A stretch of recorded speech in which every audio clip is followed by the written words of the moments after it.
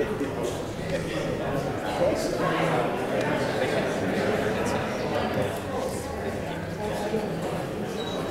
got that?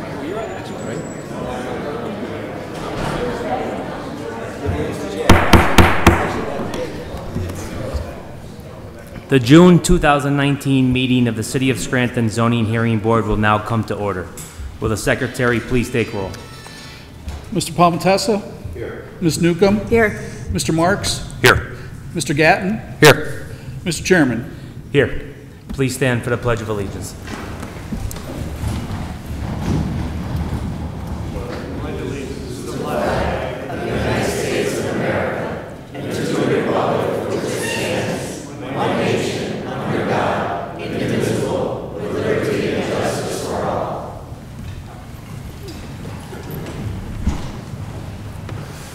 Accordance with the Pennsylvania State Sunshine Law, this board shall render its decision on each case either at the end of each hearing or within 45 days of the hearing. If you are to give testimony in a case, please come to the podium, raise your right hand, and wait to be sworn in. After being sworn in, state your name and address and proceed with your testimony. Also, anyone giving testimony who does not become a party to the case may obtain a written decision from the zoning office. I also have two announcements of law. If you are granted a variance or a special exception, you must wait 30 days from the date of our decision to obtain the necessary permits to start work. However, you may obtain a permit sooner by signing a waiver that any work done during that 30-day period is at your own risk. A favorable decision by this board shall expire 12 months from the date of said authorization in accordance with Section 111I of the zoning ordinance. If you fail to obtain the necessary permits or do not comply with any or all conditions of said authorization, you must seek an extension. Is there any remarks? I have, I have some remarks. I wasn't at the last meeting, but I was at several meetings before that, and I did uh, watch some um, of the testimonies, and I noticed that in the past, especially last month, a lot of people that are coming to us from neighborhood associations, speaking about areas that are not in their neighborhood. People are speaking uh, that are not 200 feet away. And it stri- it strictly says in our zoning ordinance that if you don't live 250 feet away, um, then you don't have any means, uh, any reason to come to the podium. And if you're the South Side or West Side Greenridge Neighborhood Association, some, some, something in West Side doesn't apply to you. So I, I I think from now on, we need to uh, stop people from talking that, that, that don't fit those criteria. Dan, I, I gotta do some follow-up. I, I, I tend to agree with Ms. Newcomb in this. Sometimes we're open, I, I feel we're open up too far away from the, the project. Uh, and it doesn't necessarily mean this project, it, it, we, we see it more and more. Um, so, Dan, unless they have standing, should they be able to give testimony in a case? Okay, the ordinance says that the zoning board shall have the authority, if it chooses to exercise it, to determine who has standing before each case. Okay, so that doesn't eliminate anybody. It's, it goes on to say, It's our discretion. city council, the planning commission, abutting municipality whose boundaries are within 200 feet, and a property owner whose lots are within 200 feet, and the affected city-recognized neighborhood organization shall, at the absolute minimum, have standing. So they absolutely have standing. The board has discretion if they want to go beyond that. So we, So- so it's- it's like, so like in the past, when a couple people have can- spoken, I've said, and Right, you, you can, you guys can decide if somebody has standing or not, if you want to hear from them. I, I- I noticed last There, week. there is enough discretion in our ordinance. Okay. And another thing, um, I don't know, if- the numbers two and four on the agenda, one of them is not even notarized.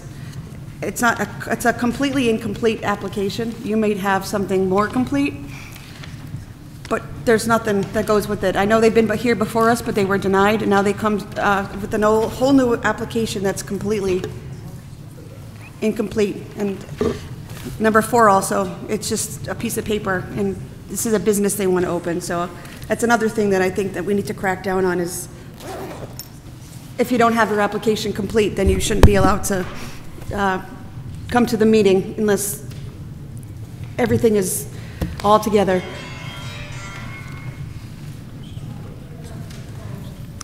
Okay, um, That's all I have. yeah. Mis- I- Mr. King, Mr. King, I don't know if you have the original of number that's- two. We're, I we're, have the original, what I believe is the original number two, and it does not seem to be notarized. So- So at this Oh. time, I, I would make a motion that we, that we don't hear this case, because a no- a notary is, is one of the major things, is, is probably the most important thing of the application process. So I would like to make a motion that we, that we postpone or file a continuance on at least number two. 'cause I, I don't see if, if the application fee was even paid at this time. Yeah, it doesn't even, it doesn't even have a paid, yeah. So, I, I know we've had some turnover in the office, so it's hard to put these records Correct, together. But correct. what, what we have before us does not look like number two, and how about number, four? number two or number four have been notarized. number four is Uh, notarized. Number four is notarized. But there's no plan or anything that goes with it, so, Uh, Okay. I mean, I, I would like to make a motion that we don't hear either of these cases, but especially number two, because we don't even know if it's been paid. And the notary is missing. What are your thoughts? Let's hold off for four. Okay, so I'd like to make, to make a motion that we do not hear, uh, case number two. I- Number, no, number two, yeah, Number, number two is Rut, Dennis Rut- Rutkowitz. Rudowitz at 1413, 1415 North Sumner Avenue. Okay, I'm sorry, what was the issue with the application besides the fee? It's, not it's not notarized. It's not and notarized. No, it's not complete at all. There's It's, barely it's an anything on the incomplete, application. it's an incomplete application.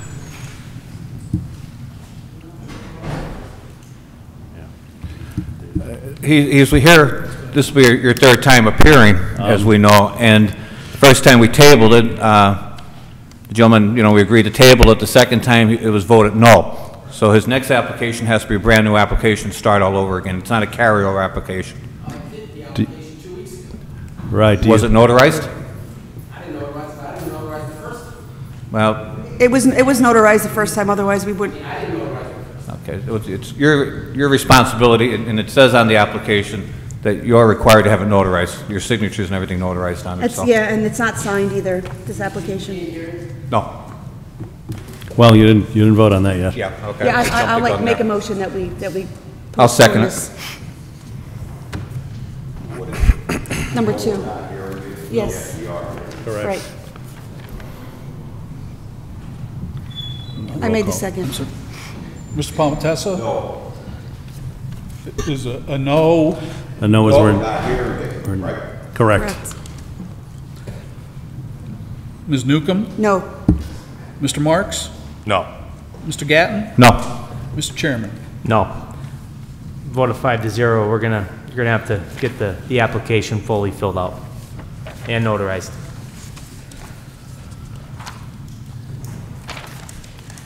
Any other remarks? No. Don, could you, uh, attestment to the verification of the postings, please? I cannot, I didn't do the postings myself. Uh, Member of our staff posted every one, I'm told, but number four, uh, which would be 501 North Keyser uh, DMC Auto Repair, was not posted. So Dan, do we have an issue with it not being posted? Uh, we certainly do. Okay. I definitely didn't see the posting anywhere yesterday. You're here on that one. Um, I think we have to postpone it to next month. And I know that Ms. Newcomb said there was an issue, I'm not sure what the issue was with the application. Um, it just, all we have is the front cover. We don't have any kind of a parking plan. We need to have all of that so that we can get an idea. It's an existing structure, it just has been vacant, there's no change in the plan other than to reopen it as it is as it was previously. I, I think what they're looking for is a plot plan as to where the cars would be parked, what, where the customer parking would be, where the cars for sale would be. Is it better if I can have my client provide that today for when we come back, or just have it for the next time? I, I would, Have it- As early as possible. as early as possible, get it to Mr. King if you would. I can have it tonight before we leave. That'll be fine. That'd be fine. Okay, so that is case number four, which is uh, DMC Auto Repair Corp., 501 North Keyser Avenue. So that case also will not be heard tonight. Are we going to go into uh, old business now, Dan? Yes. Well, hang on, are we going to, are we going to table that as what we're doing? Do we have to take a vote to table that, or?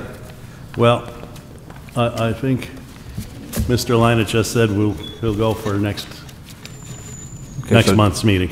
So do we need to take a vote on that, too? I, I don't think so, because it's, it wa, it was our fault we didn't post it. Good. So we'll put it on next month's meeting. All right, sounds good, thank you.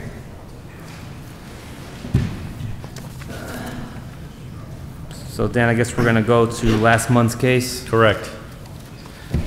I am going to abstain from voting for a conflict of interest.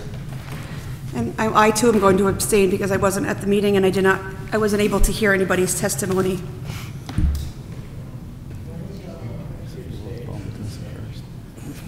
Yes, so we have two, abst- uh, uh, so that we have Okay, three let's, voters. let's bring a motion that we put, that we put it to a vote first.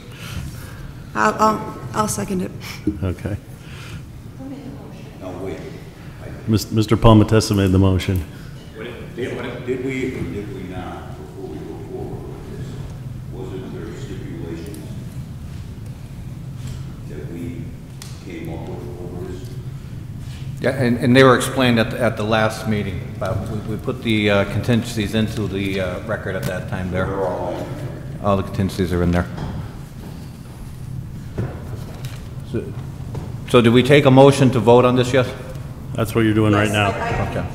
I, I seconded the motion. So Mr. Palmetessa made the motion and, and Ms. Newcomb seconded. Mr. Penatar, may I ask a couple of questions before the vote's cast? I believe the record's closed, so Yeah, No, I mean, we're not- We're not going to take any testimony, but do you have a question? My, my first question, it seems like the board has adopted or is enforcing a policy with regards to the applications themselves. I would renew the motion that I made last time, the objection to the fact that the application was not signed by a person associated with Sammy's Foundation. Okay, we, we already covered that at the last meeting. And then secondly, with regards to the abstention, there was an identification of a conflict of interest. Um, Did Mr. Walsh state that he had a conflict of interest? Is that what, is that my That's what he said, yes. Is he at liberty to disclose the conflict and, and or to disclose whether or not he participated in any deliberations on the matter? Mr. Walsh, do you, are you at liberty to disclose the, No. okay. Did he participate in any deliberations of the, uh, We didn't have any. They didn't have any deliberations. thank you.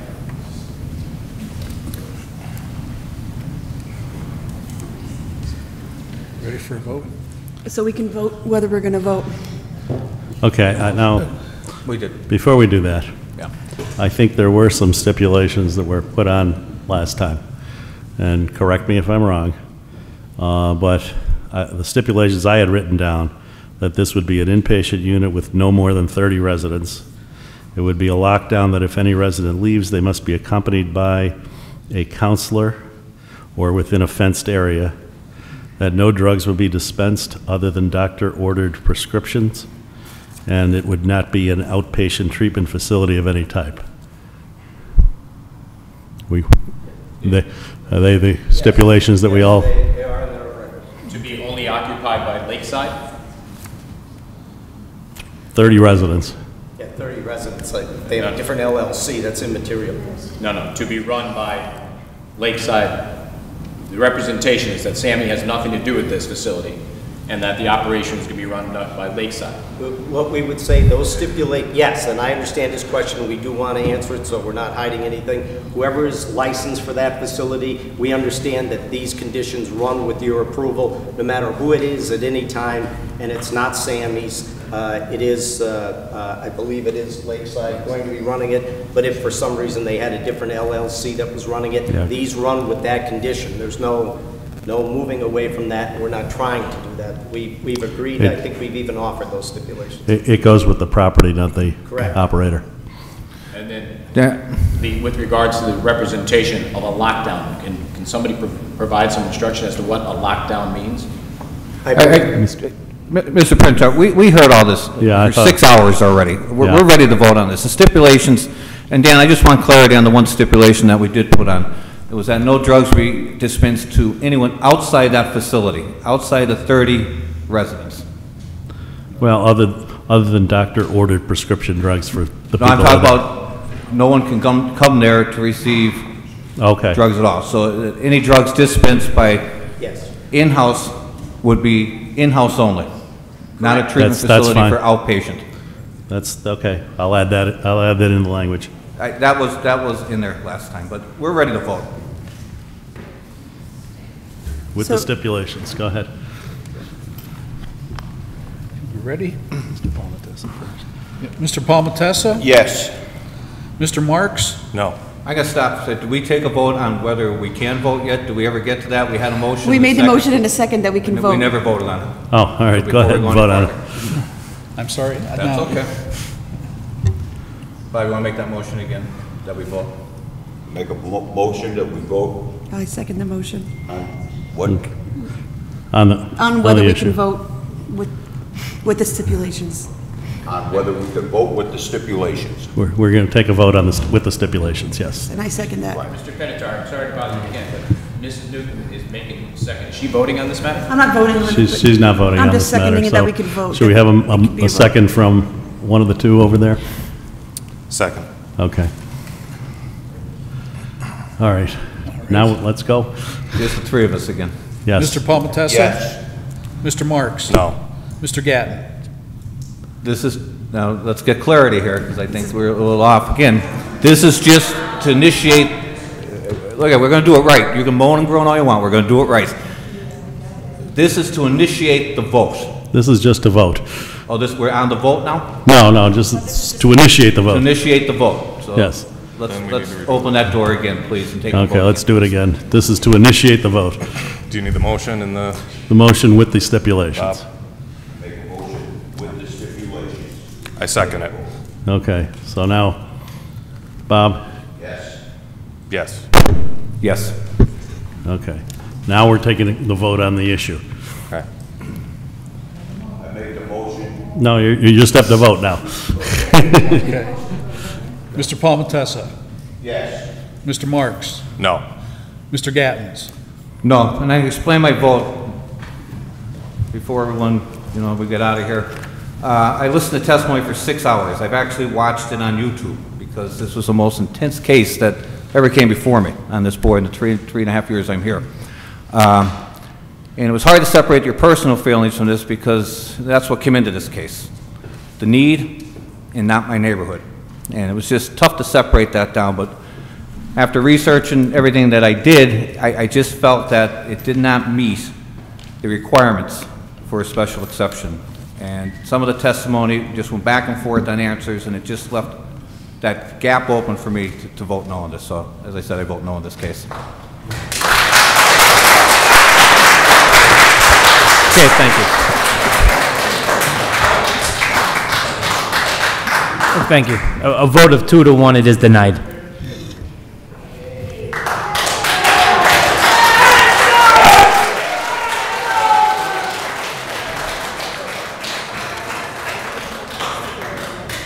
Thank you.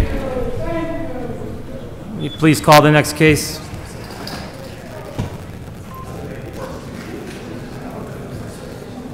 Number one on the agenda is Arsenio Velez, 5 All right, Don, maybe we'll give it like one minute for everybody to disperse. There, there's your plot plan. Thanks, you. Next month. See you next month. Okay.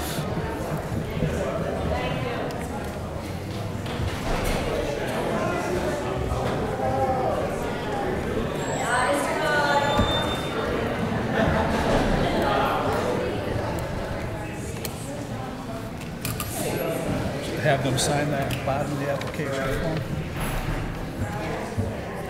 Oh, yeah. Kurt? No, no, no, this is not for oh, oh, that- okay, that, okay, you already have, Well, I you have have a completed application from theirs. Uh, okay. Yeah. There was no plan, There was no plan. yeah, yeah, it was notarized and everything, so that's what. Okay. Okay.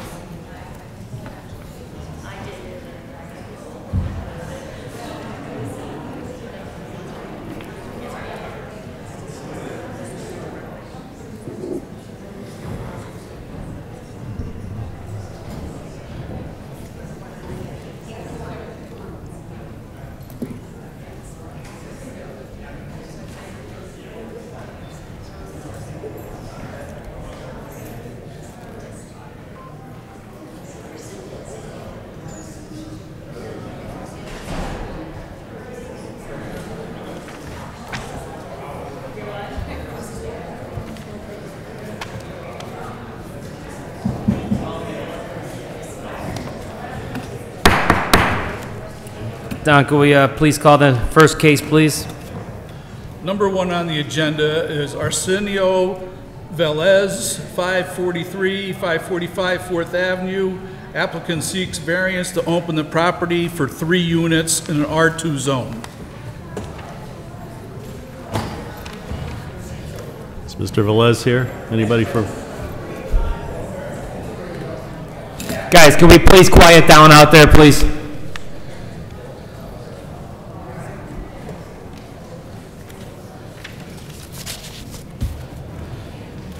Will you uh, please raise your right hand? Do you solemnly swear the testimony you're about to give is the truth, the whole truth, and nothing but the truth, so help you God? I do. Name and address, please. Arsenio Velez, 113 Cabin Ridge Road, Hawley, PA, 18428. Cabin Ridge Road, Hawley, PA, 18428. You may proceed. Um, I'm seeking variance um, on the property that I, that we're working on right now. It was a two-family with a commercial storefront, and we're just trying to change it into a three-family. Put the commercial storefront into uh, the third family. yeah, that doesn't sound like that's on. Can you This- your microphone this sounds- yeah, to your that- mouth? No problem. Just check and make sure it's on. Okay. Okay, got it. No problem. Dan, I have a question. Yes. When we look at this as a two-unit and a single-family, do we need parking for the single-family? The single family has parking on the right-hand side. Yeah, It the has its single own- family- It has its own driveway. Right, that's all it needs for the single family. Do we need any, though? Uh, no. Okay. Um, Thank you.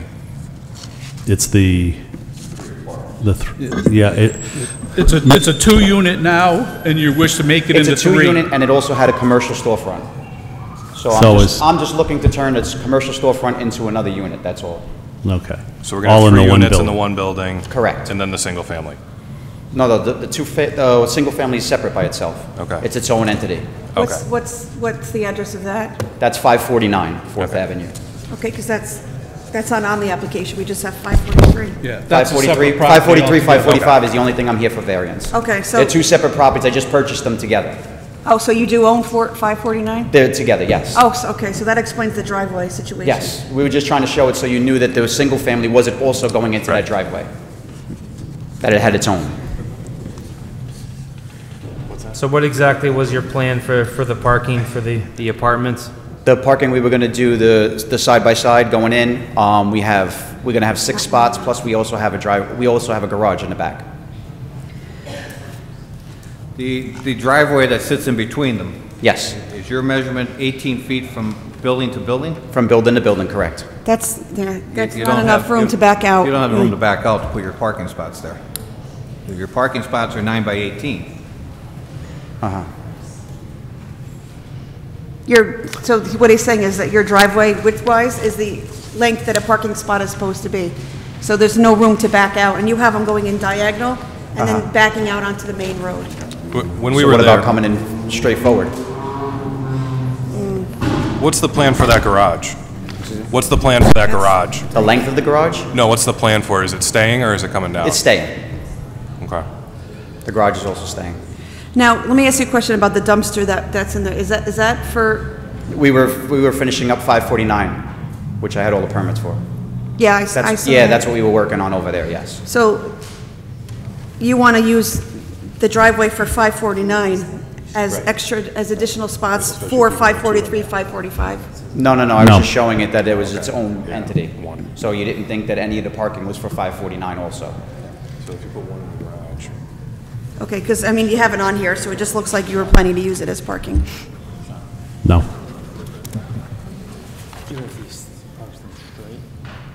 What do we need, 18? Yeah, but it's not stacking if you can get out. It needs 21 feet. Because the house, because he has that little, it gets that garage. What do you need to stack them? Four and a half spots,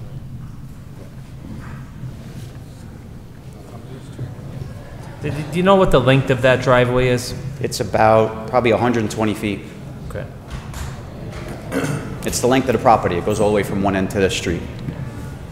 But how, how long is it, I'm looking at the 80 feet they have marked there on, on the 549, is that the same measurement on, for 543 and 545? Would you say is that a safe assessment? Um, yeah, I would say it's, So actually, alongside the house, we'll say you have 80 feet. And the rest is, the rest is open after that to go where you can get into that garage or the backyard area? yes, it has its own in the back, yes. Well, my concern is, I, I, I don't, I don't think you have the parking in that driveway. I mean, i- if it's only 18 feet wide, and if you're angling the cars in that way, um, you- you're backing out. And we're looking at different ways of doing it. If we're looking at your parking diagram here, that's what we're discussing up here, and unless Uh, you, I'm sorry. Go ahead. go ahead, go ahead, Sean, jump in. I was just gonna ask Dan, uh, I think- I, I know we can't stack, Dan, but if he was to park to the left side of the driveway and he still had the, the Yeah, access, the, the I- back. I'm, I'm agreeing with you, I'm looking at it, it's at least 100 feet in length. So if you go parallel, you know, Correct. one, one after another, you could get four cars in there, plus one in the garage, would give you the five cars. So two on each side, one You against just one, No, against one here. Just- and don't just- block the driveway. Four right against uh, the house at 420, or 4, 545. You could put four right against that house. Right, 'cause he'd need 21 feet How for many- each space, right? Am I correct It on needs that? 18, 18, How many spots does he Even on need? that? nine by 18, so it's, it would be 18 That's what I long. thought. So it's gonna get you 72. So it would have eight, He has the room if he utilizes the he, garage. he he definitely has room for four parallel parking plus one in the garage. Also, h- how, do you know how wide that space is on the other side of the house? That's just grass right now? Do I know what? How wide that is? Which, which space are you talking about? On the other side of the house, with, where the driveway isn't? Oh, you're That talking leads you about- to the backyard? Yeah, I'm not sure i- whose that is property line wise. I have no Oh, so you clue. don't know whose property Yeah, you're talking about the one to the left-hand side. Yeah, because I was Yeah. gonna say, if you pave, put, pave that, you could make that Yeah, into I'm a not, spot. I haven't looked it up. I haven't even checked it yet since the purchase to find out even if that is So you ours. need to not- get I a think it's just an survey. easement, actually. Do you understand how we said park them straight? Yes, I, I instead of- I understand exactly what you're saying, yep. Okay. Well, i- if we look at, I I just want to make sure we're doing everything right here, because with that, if he parks in parallel, he still needs a 12-foot aisle. Then at 18 feet, he- he's not going to have that.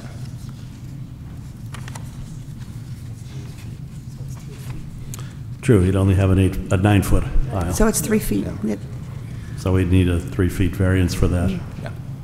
I mean, we I- we know we don't need a buffer, he owns each side of us. He owns on each side, Yep, yeah, so he doesn't need a correct. buffer. Was there any room to, to add a couple of feet to that driveway to the left or right? No.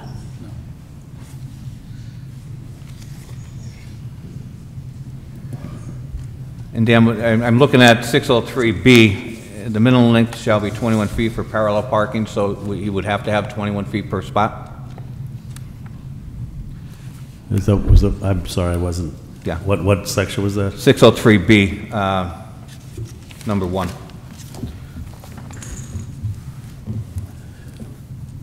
All right, that's the minimum length. So the length, what they were asking for 21 feet instead of 18, he would still have He still has, enough room yeah. for four, I yeah. mean, if we're going to do the variance for the three feet, so I just want to make sure we have everything. Yeah, that, in that that's, form. that's going, th- going front to back. Yep, yep. And he's 21 feet, so four cars is 84. He's got 100, Yep. so he's okay there. So So- where we, where we The put this width, fifth the car? width, Can In you the put a car in the garage. garage? Yeah, you In can the also garage? have the garage in the back, yes. Um, now, you said that it's a two-family home and there's a business storefront, There's a business storefront there, yeah. so that's gonna be the third That's going to be the third apartment? apartment, correct. Bless you. Bless you. Thank you. I just wanted to call attention to the gigantic hole in your foundation. I don't know if you wanna. Yeah, oh, I know Get, already. get a, and there's all sorts of doors and windows we're leaning gonna- against the. we're gonna be redoing that Like, whole I just wanted to property. make sure you weren't starting work before. No, no, no, no. Or I've if been those working on my windows- other, I've been working on the other two properties Okay, as of right now. That's why I have permits for those, but I haven't pulled anything for that one yet. okay. Is there anybody else that'd like to give testimony in this case? You can come on up.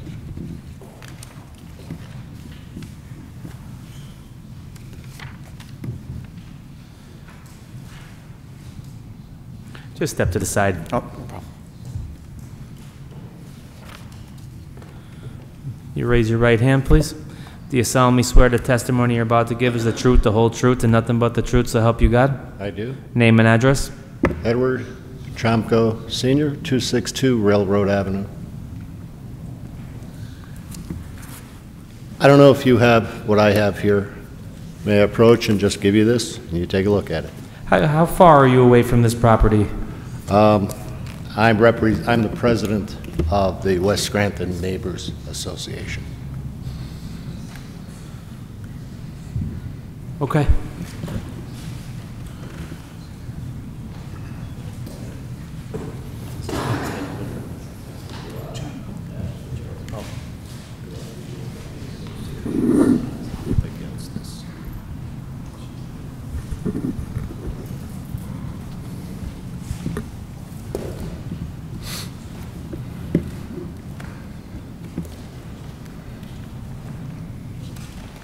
Did you want to give any testimony, or? I think the pictures speak for themselves. There are a few neighbors here within 100 feet of this property. They, maybe they wish to speak. I'm representing the association. I was asked to come in. Anybody else want to give testimony on this case? Oh, wait, is it the, Mr. Chomko? Yes. Is it the association's preference to keep it as a commercial spot? No, it's, it's their preference to keep it as residential, Okay, as an R2. okay. But right now, there's a commercial space in there. You have to know the building, sir. Okay, It was run by the people that lived in a house that he's remodeling. And that was a ceramic classroom. It was a combination of the classroom and an apartment for one of their sons. okay. But that person isn't this gentleman here? I'm sorry? That person isn't this gentleman here? That- You said the person who ran it before? No, they're deceased. They're deceased, so this is a person who's probably well aware that this place needs... I don't know, you said it A lot of a- renovations. It was a commercial front, yes, it Right. was, but that was a combination of an apartment also. All it was was two rooms used as a commercial and two rooms used as a place for one of the sons on the first floor. And the second floor was one apartment. Thank you, sir. Okay. Is there anyone else that wants to give testimony on this?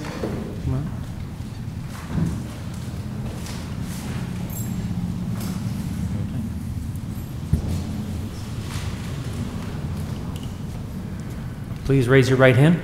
Do you solemnly swear the testimony you're about to give is the truth, the whole truth, and nothing but the truth, so help you God? I do. Name and address, please. Uh, My name is Roseanne Flynn, 529 Fourth Avenue in Scranton.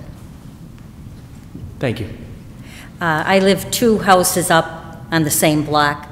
Uh, You're doing a lot, a nice job fixing the house. Uh, A Lot of remodeling, you could tell. But the, the in question, the address in question is so decrepit.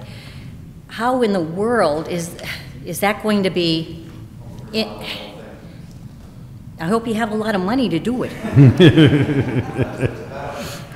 My fear is that uh, you're going to put a Band-Aid on it, rent it out. It, I, it's not safe, it cannot be sanitary or healthy in any way. I hope so. Uh, in that case, we'd love someone, families in there, I would, shouldn't say we, uh, I would, because it, you know, why have the place empty and Yeah. just, you know, rotting to the core? That's, that's a question we all ask, but just so you know, an occupancy permit would never be distributed unless the inspectors came and it was completely up to code. So, Lots of homes are inhabited that are decrepit, that are awful, and I fear that that's what this would be. this is, this is a different case because he's here now, so it, it- it's, it's a have to, it's a must. Mr. Velez, was this condemned? Yes, it was. Okay, so it has to be brought up to code. So if it's condemned, he's going to have to go through a a vigorous process to get it uncondemned. Okay, okay, then, good luck. Uh, Thank you. The parking, oh, I'm sorry. The parking, sta- uh, uh, parallel parking, uh, Man, oh man, what? So if there's three cars and I'm the last car parked, I'm going to tell the two other people, come in and pull out so I can pull out? They're not going to do that.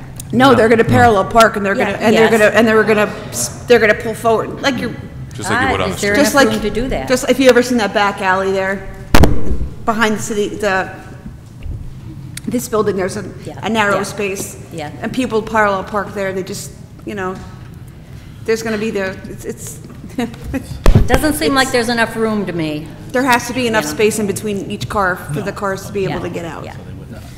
Because there is no parking on that street. Yeah. You know that, can get in okay. this- That's it, thank you. This driveway, the Thank property you. line goes right down the middle. Is there anyone else that'd like to give testimony on this?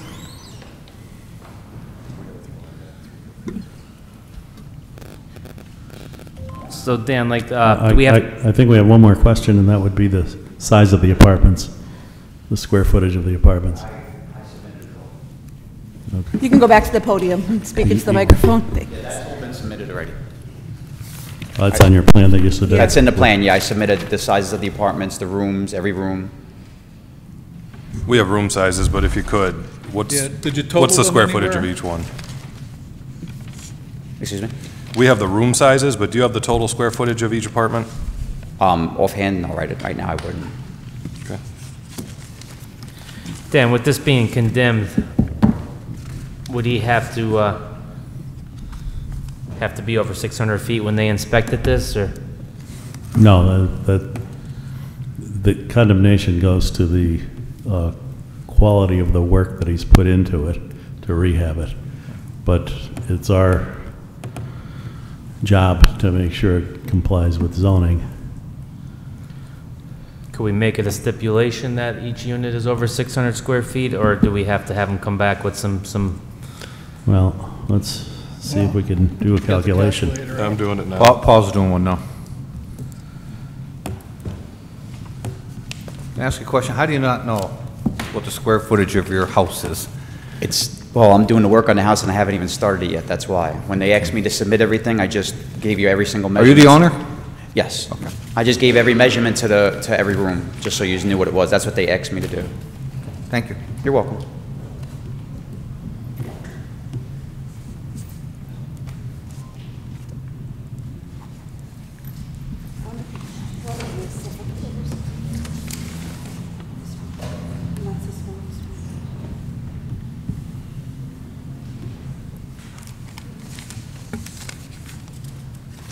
Apartment is the smallest? Is the The one first in the floor back. apartment First floor one? back is the I, I- I smallest did, one. the- I did the math and I got about 686 square feet For the one in the back, correct. for the one in the back, yeah. Yeah, that's about right, yes. And that's the smallest one. That's the smallest out of the three.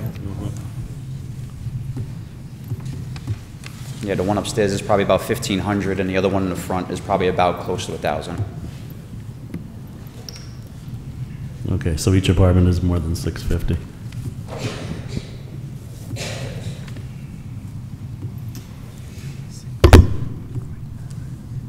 How many bedrooms in each apartment?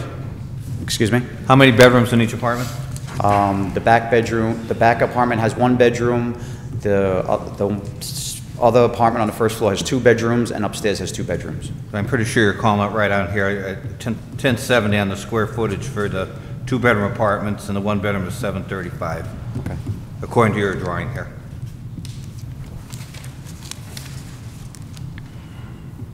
That's at the ledger at the bottom of the drawing on the left-hand corner.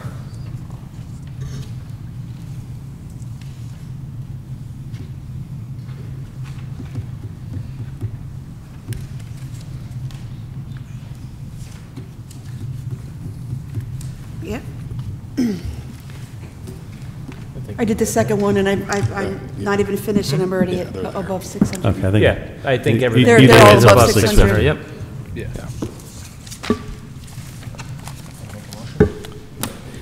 Dan, do we have to put in a, we're gonna allow the three feet in the driveway? Or could we just vote the both variances Well, at it's, it's once? one project, so if we're allowing the parallel parking, that, If you We're know, allowing the three feet. it goes without saying that Does he have to request a variance, Dan, at this time? it's all part of his All application. part of it?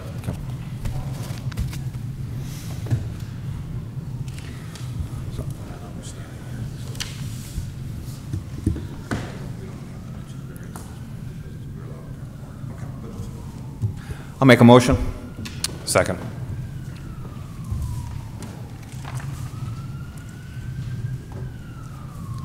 We have a motion and a second to vote?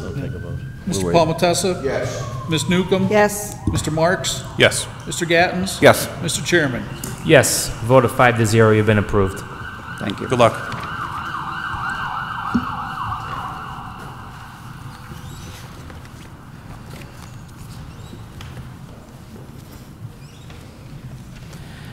I think number two we're skipping, correct? Correct. So we're on to number three. Number three is JBAS Realty LLC. Applicant seeks a variance to restore 930 Meadow Avenue into mid-rise apartments, 37 units, with a maximum square footage of 735 square feet, R1A zone.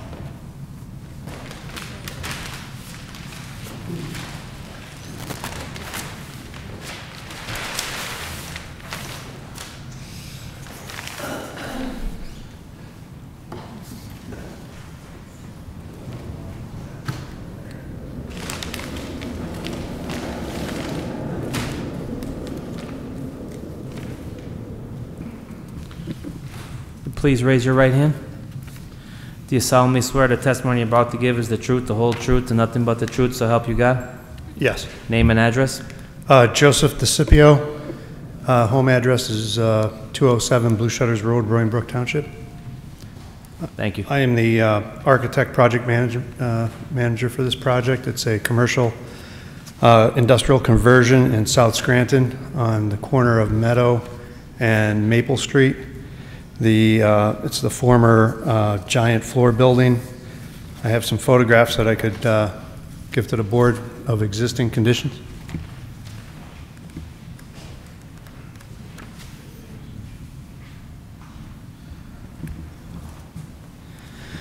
The, uh, the building, uh, which I, as I said, was the former Giant Floor Building, and before that, the Gold Star Building in South Scranton, uh, was vacant. Um, It's a three-story brick building, um, operated as a commercial business for years. Uh, It's about uh, 80 years old, and had had many additions that were put onto it over the years. And uh, recently, it became vacant, and that uh, then was purchased by J. Bass Realty. And the uh, intent is to convert that structure into uh, residential one and two-family uh, er, uh, apartments, one and two uh, unit apartments. Um, It's a three-story uh, structure, uh, approximately 15,000 square feet per floor, so three floors is about uh, 39,000 square feet. Each unit, uh, the one bedrooms would be approximately 750 square feet. The two units would range from about 1,000 to 1,200 square feet. Um, The, in- the intent is to uh, call it a senior housing complex, uh, meaning 55 or older. Um, The application is made to, you know, convert it into this resident, uh, multifamily uh, apartment building. It is in a R1A zone uh, currently, and uh, it operated as a commercial business, which has since been vacant, which I believe then it would, the board would view that as deferring back to the original zoning. Um, There's a total of 37 units uh, in the building. Uh, If you're looking at the uh, ratio for parking of one and a half per unit, that would give us a requirement of about 56 uh, parking stalls. The current plan uh, accommodates 65 uh, parking stalls. There's an adjacent paved area that was a parking lot and will remain to be a parking lot. Um, I do have a site plan, and I don't know if that was submitted with the application or not.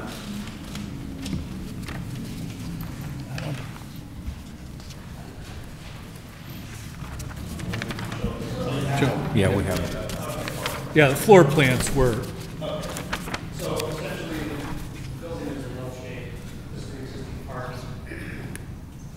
Over here. Um, you can turn that microphone off. Okay. um, The corner, this is uh, Maple and Meadow. And this building is visible from, from 81, you could see it with the sign on top.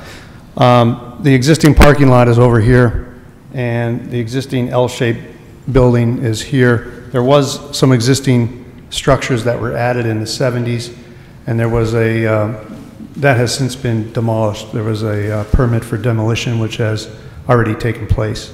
So the- the existing 70s structures have been removed. The, the original 1920 structures are, are going to be, remain, uh, remain and refurbished. And again, the existing parking is going to be utilized, and that's where we have about 65 stalls to accommodate the 56 required parking. what about that green structure that's on there? It looks like it's, uh, Yeah, it's a metal building. Yeah. Um, The intent there is to demolish that as well later. It's going to be used for uh, staging and storage during construction. I do have a rendering I could show you.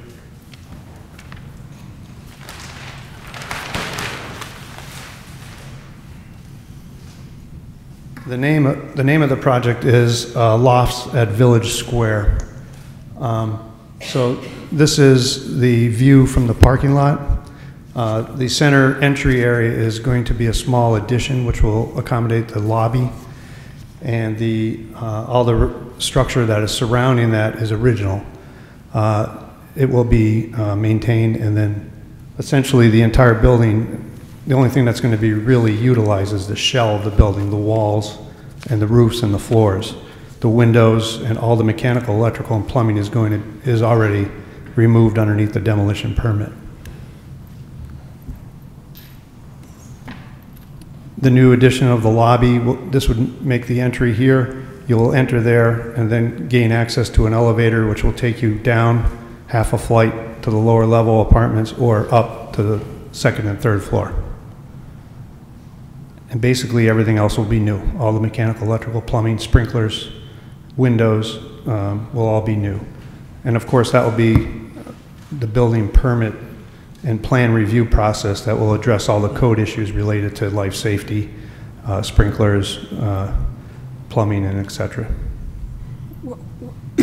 just out of curiosity, will you have, um, like, fire doors on each level? I- I'm asking this because my mother lives in a senior living, and they have, lots of people set things on fire constantly. In order to not evacuate the entire building, they shut a door, and only that, you know, area, will will you be having any of those? Right. I I don't know what the the appropriate term for the door is, Yeah, but... um, there, the, the gray structure in the rendering is actually an existing fire stair, which is being maintained, and then there are two other fire stairs in the building. Um, I'm sorry.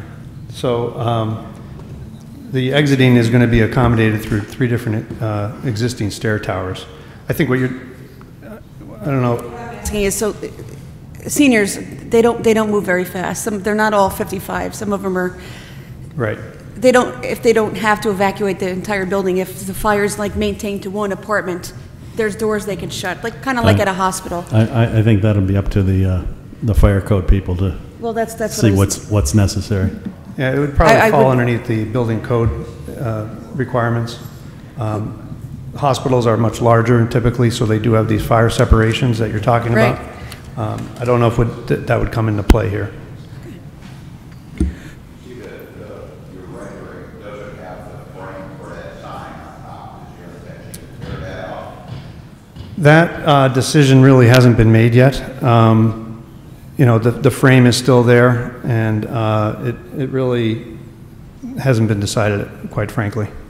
You're not gonna put no type of billboard there, is what I'm asking. Uh, I don't know if I could say that. Um, I- uh, The frame is there, I don't know what the intent, you know, the decision of tearing it completely off or not is, is uh, not made at this point. Again, if a billboard was to put, be put up, it would have to come under our zoning ordinance to be approved.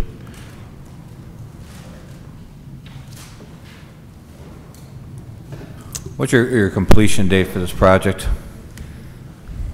Well, um, depending on approvals, uh, um, you know, it's probably a, a- about a year construction uh, window, once it, you know, gets fully underway. Basically, like I said, it's, it's just demolition right now. Uh, And then once we go through the, all the planning, and then uh, we'll we'll have to go through plan review for the building code issues, and then, you know, we could start construction.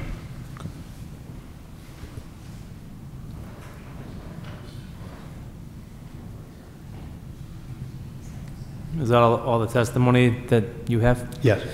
Is there anybody in the audience that'd like to give testimony on this case? There's not? Well, then I'll make a motion. Second?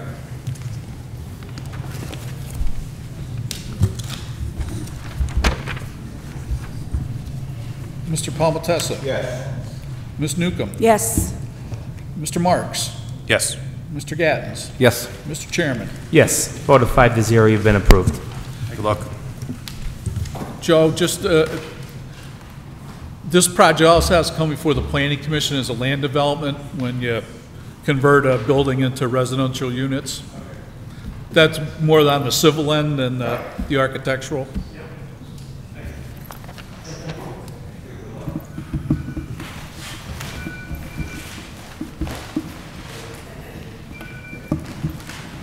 We're going to take a five-minute recess before this, uh, this case comes up.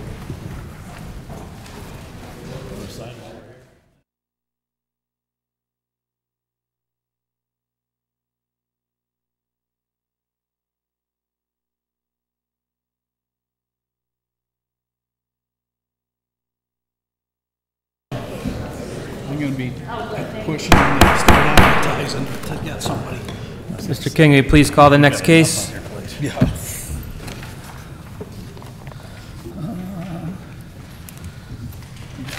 There, do my second page. Mr. Chairman, Brick Investment Corporation seeks a variance, a special exception, and a a validity challenge for 1800 North Washington Avenue.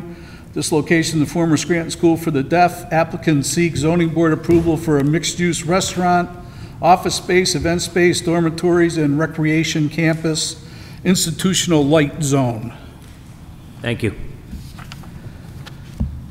If I may, before we proceed, um, the attorney and I had a conversation off the record, and I have a few procedural matters. My name is Attorney Mary Dempsey. I represent the Greenridge Revitalization Can you just go Committee. up to the microphone so we can... Yes, uh, they told me to do that. My mistake. Is this okay? Can you hear me now? You might want to pull can it a also little go to- closer. Yeah, and there's also one at the podium, too, that, that they put the News Watch 16 one there, too. That'll make life easier. Is this better now? Okay. So procedurally, I'd like to bring up a few things, and actually, Mrs. Newcomb, it comes based on your comment to a previous um, individual who was in here. You had said that the application was not notarized, and for that reason, you weren't going to accept the hearing today. Now, Brick Investment Corporation, it certainly is notarized, I have no objection to that. However, I do note that the list of all affected property owners is absolutely empty. And I checked to make sure, and I saw that the zoning ordinance, ordinance specifically says, under 112A 3B, that the applicant shall provide the city with a list of such property owners. And thus far, I haven't seen it, and we did a Freedom of Information Act request to get these, and it was not included or attached. So for the same reason that you felt that other application was fatal, I would argue that this application is fatal as well. That's just one procedural matter I have. I don't know if you'd like to address that, or you'd like me to get into my second one. If I can respond, my name is Attorney William Jones. I represent the applicant. If We're going to ask you to do the same thing with the microphone, please. Y- y- All righty, do you want me over there? You could probably, it it works a lot better over there. That'd be fine.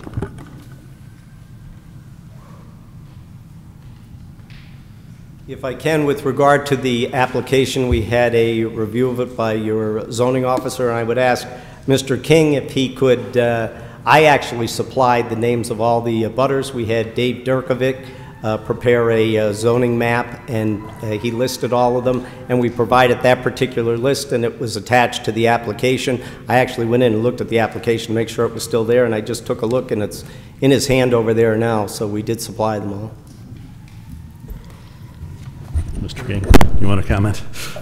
There is a list, I'm not, I'm not gonna count them here, but there's uh, much too many that would fit on the face of the application. I guess, uh, probably about 30, give or take. Do we know when that was provided? Because when we did the Freedom of Information request, it certainly wasn't provided to us. An empty application was provided to us.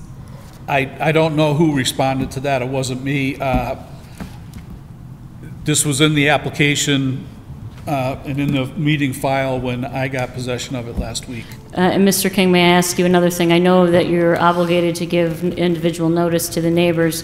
Was that sent via regular mail, certified mail? How was that sent out? I didn't send them out myself, so I would assume typically it's done by regular mail. Okay. And um, I live directly across from the oral, the State School for the Deaf within mm, probably 15 feet, let alone 200 feet. And my notice was just thrown in the front of my door. Is that how most of the notices were provided? Oh, Sometimes they are, they are hand-delivered. I, I know Jax, that was here prior, uh, he did hand deliver a lot He of did the, hand uh, deliver because a a lot of times they would come back marked if the, at- if the tax assessment information changed or something, he, he felt it was better to, to hand deliver them. So he would hand deliver them not to the person, but to the front door of the home? To, to, to the property, yes. Okay. The second question I have, and Mr. King, both you and Mr. Pinatar received a copy of this. It's a June 10th letter, and um, I think it's probably better off if we determine this now, as it may or may not decide what we'll do with the rest of the hearing. But we, uh, in that letter, noted that under the uh, law, it specifically says that the zoning board shall send this matter to the city planning commission, and I also quoted the statute. Um, And we're asking that that be done prior to any further zoning hearing, so that the city planning commission can ta- take a look at it and take a look at the issues regarding traffic generation, noise, fumes, odor, glare, hours of operation, the proximity of the requested use to the neighbors. That's all part of what they can do, and then they can make a recommendation back. In my letter, you also, I also noted that the same benefit was also provided to the last hearing that was here, that I believe was the Forever Sammy Foundation. Um, That's what happened here, and I think it was you, Mr. King, who authored a very detailed letter in that, that matter uh, on behalf of the City Planning Commission. So we're asking for that, as well as a referral to the city engineer, which is also mandated under the zoning ordinance as- as- and has not yet happened. May I have an answer on bo- either or both of those requests? Mr. If Mr. I can, Jones. may I address that?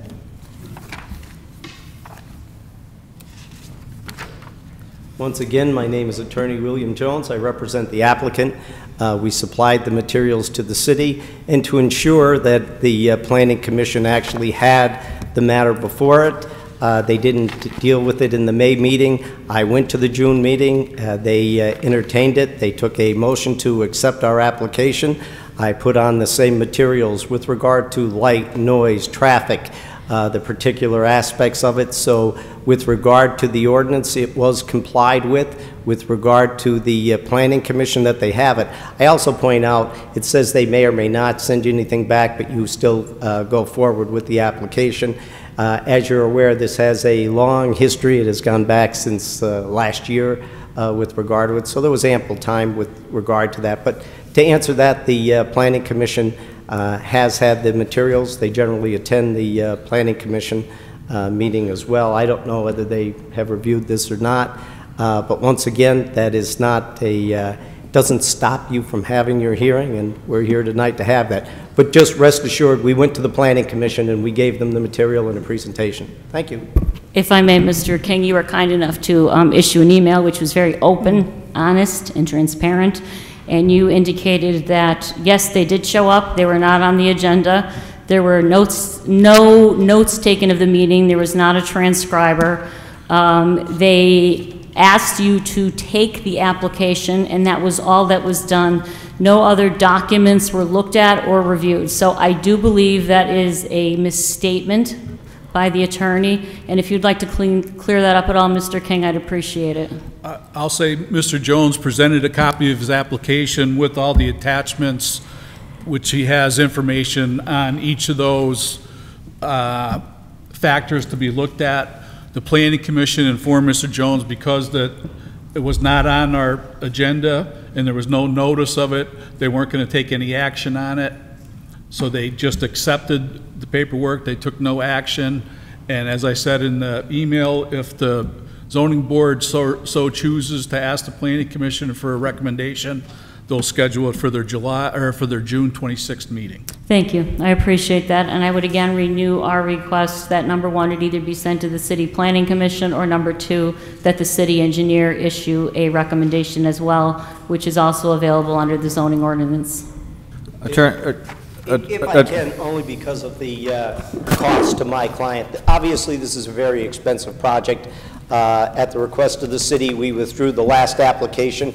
That was back in November, so everyone could have ample time to uh, review our plans and application.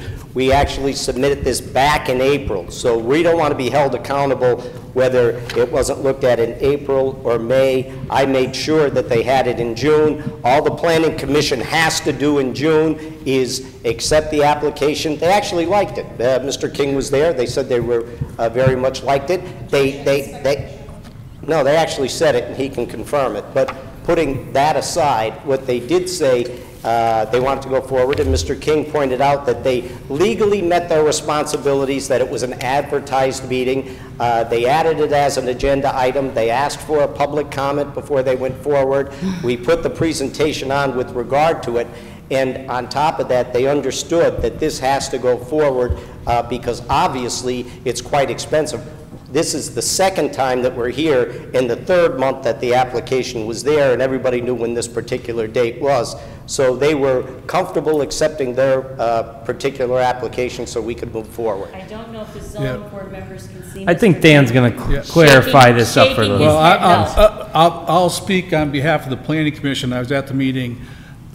I don't, they did not add the item to their agenda, and they didn't take any action on the item, other than to accept it for review and possibly schedule it for, for, for a hearing. or They a actually made a meeting. motion, they accepted the, uh, and they voted unanimously to accept our application. To accept the application for review. And I presented my uh, materials at it.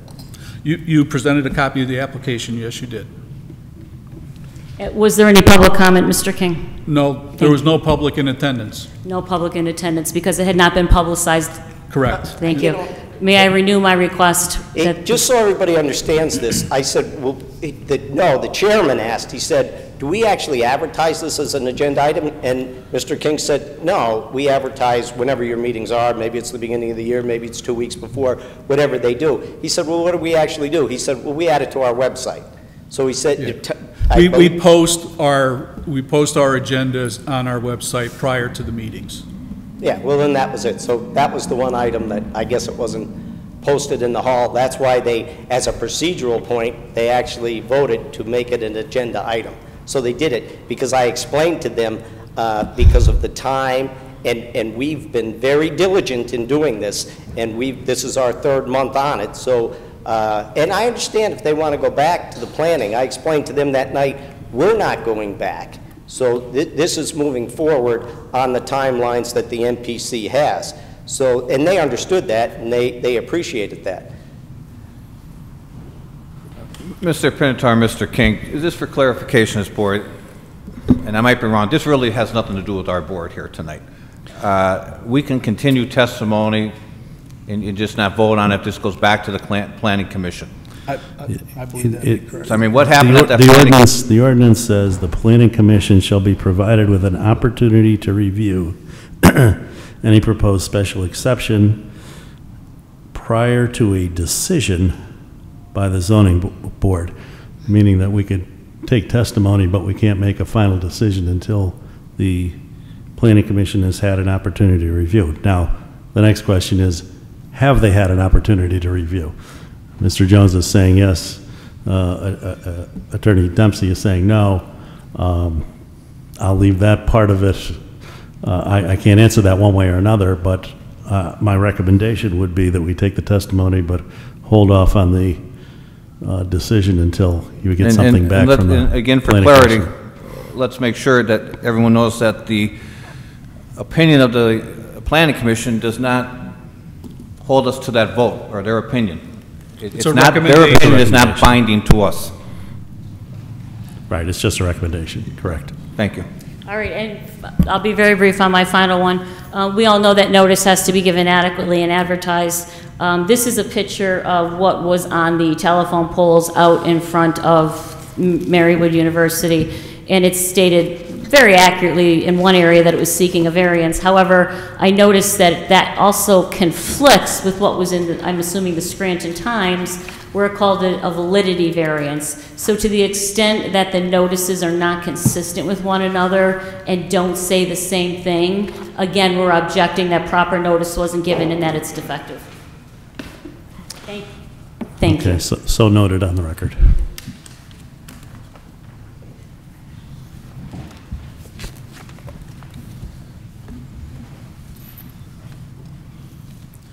So we're going to proceed with the case and Correct. If I can, uh, I would like to make part of the record the uh, deed to the property as uh, applicant's exhibit number one, the Hemen- Hennemuth uh, survey, which would be uh, applicant's exhibit number two, and the uh, tax map uh, for the particular area, uh, just so we can figure out where it's at. Yes.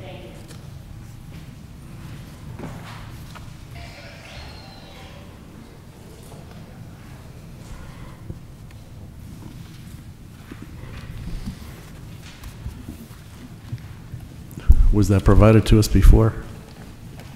They were at the first hearing, but uh, they'd have to go back into the, I don't have that either. to the record. Have a copy? Uh, I- We only have the, uh, the one here, but I do have the blown-up exhibits for you. Increase that expense budget. We'll get to it. Uh, If I can, I'd like to call my first witness.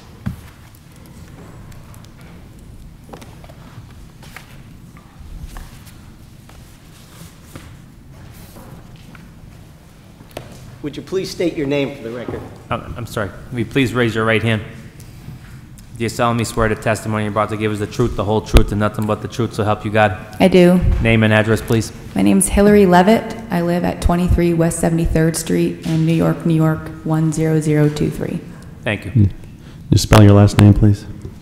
L E V for Victor, I T T Thomas Thomas. Now, Ms. Levitt, I know that you've testified before this uh, board at the uh, last hearing. If you can, uh, ju- just if you would reiterate, what's your relationship to uh, Brick Investment Corporation? Um, I'm a consultant for Brick Investment Corporation and its affiliates uh, with seven years' experience in commercial real estate and banking. And are you familiar with the uh, application that's been filed? Yes.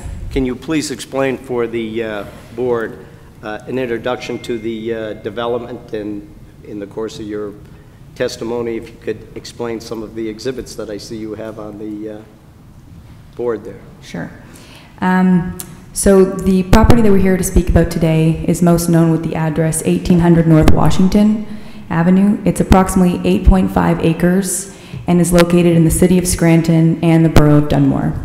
The property consists, as you can see um, in front of you of nine connected buildings, of which one of the buildings is located in Scranton, which we're here to talk to you about today, and eight are located in the borough of Dunmore. Uh, the unimproved parts of the property have a park-like character with courtyards, trees, um, green space, and a stream.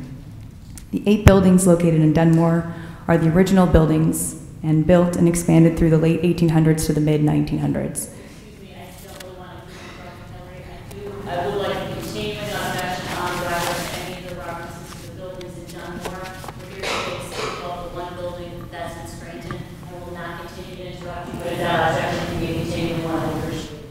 We're fine with that. And if I may, just to respond in part with regard to a validity variance uh, that's presently before this board, it's an integrated uh, property, and therefore, uh, case law supports that we're allowed to offer testimony in that I- I- particular I think it's, since it's all part of the one project, we're going to allow that testimony. Go ahead. Okay, so I can continue? Thank you. Um, where was I? Right. Um, in 1974, Building 1 was built. Building 1 is the uh, building that we're referring to that's in Scranton. Um, and today, all of the buildings are connected via enclosed walkways, um, making it a completely integrated campus. The property was originally the Pennsylvania State Oral School for the Deaf, and in 1976 was renamed the Scranton State School for the Deaf. owned by the Commonwealth of Pennsylvania. In 2011, Marywood University purchased the property. Marywood subsequently used the property for educational purposes. In 2016, Hinerfeld Commercial Real Estate listed the property for sale on behalf of Marywood University. John Cognetti, on behalf of Hinerfeld, is here today to speak to the sale process of the building. Now, specific to Scranton, Building 1 is a three-story steel and concrete structure with concrete masonry and a brick envelope, and has an approximate footprint of 9,500 square feet. The building in total is 33,940 square feet in size. During its tenure as a Scranton State School for the Deaf, the first floor consisted of a lobby, community room, cafeteria, office space, and classrooms. The second and third floors consisted of, but not limited to, office space, classrooms, and dorms. Um, Now to address what we are proposing for Building 1 and the development as a whole. Can you, excuse me, can you back away from the microphone a little bit there? Sorry, too close, too far? Thank you. Too, too, a little too close. Okay. Um, Urban Smart Growth, which is an affiliate of Brick Investment Corporation, its vision for the redevelopment is to create an intergenerational mixed-use community. We want to repurpose these beautiful buildings into a, you know, a community where people can come, live, work, and play, and really contribute to the surrounding neighborhood. All the existing structures will be rehabilitated and repurposed. Um, To the extent possible, the green space and landscaping will remain so the project continues to blend in with its surroundings. Throughout the nine connected buildings, our current plan consists of the following. 69 residential units, including 12 live-work units, 13 offices, a 40-seat restaurant, a coffee bar, a gallery space, a resident fitness center, a bed and breakfast, indoor and outdoor event space, and 282 off-street, on-site parking spaces, of which 117 are located in Scranton and 165 located in Dunmore. The main pedestrian entrance to the project, and specifically Building 1, will be located on-site, off the street, and adjacent to the Scranton parking lot. I'm just going to step around to point that out where it is.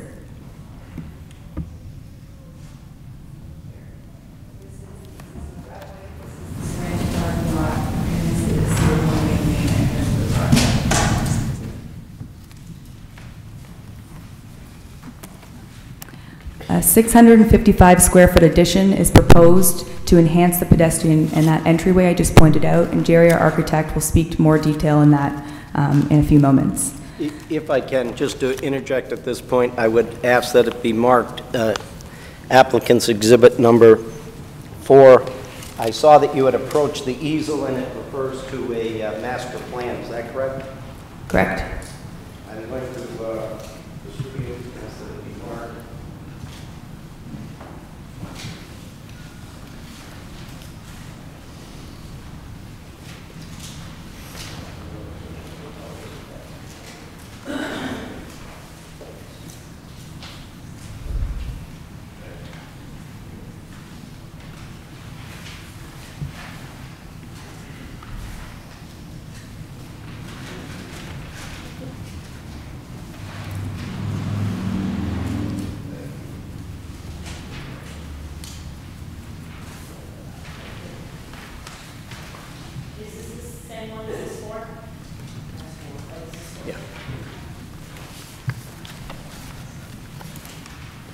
If you would go on, thank you.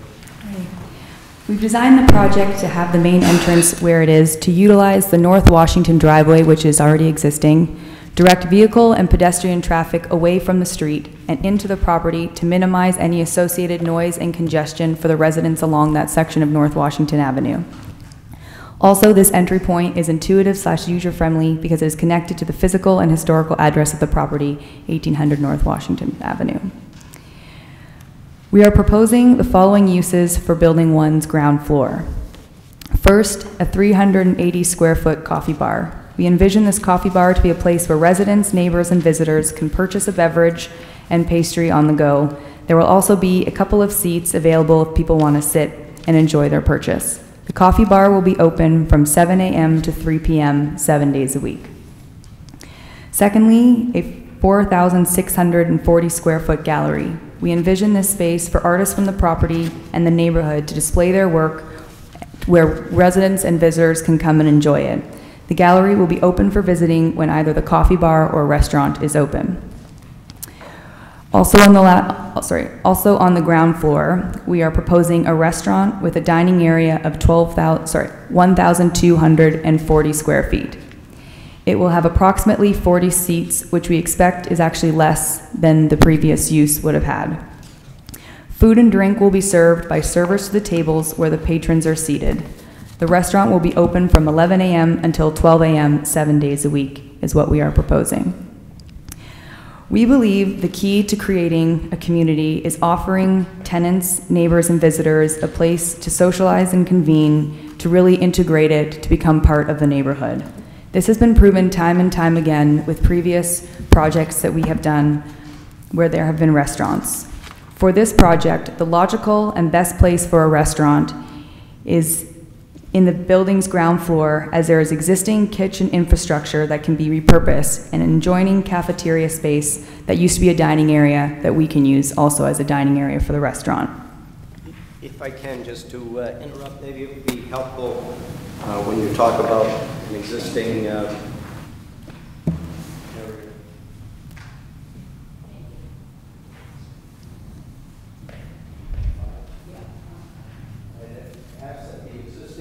existing conditions be made part of the record.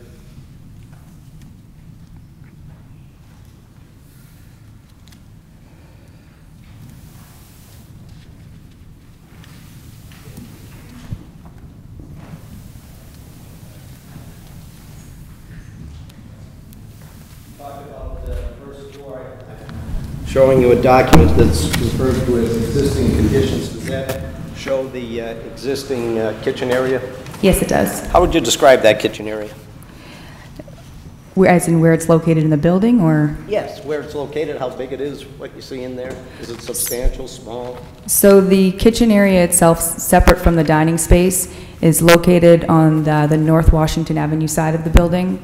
And it is, I believe, 1,500 square feet. Um, and there is existing equipment that we had tested, um, that works in there. And it is adjacent to the dining space, which is 1,240 square feet, as previously stated, which we are proposing would be the dining area of the restaurant. All right, if you continue. Okay.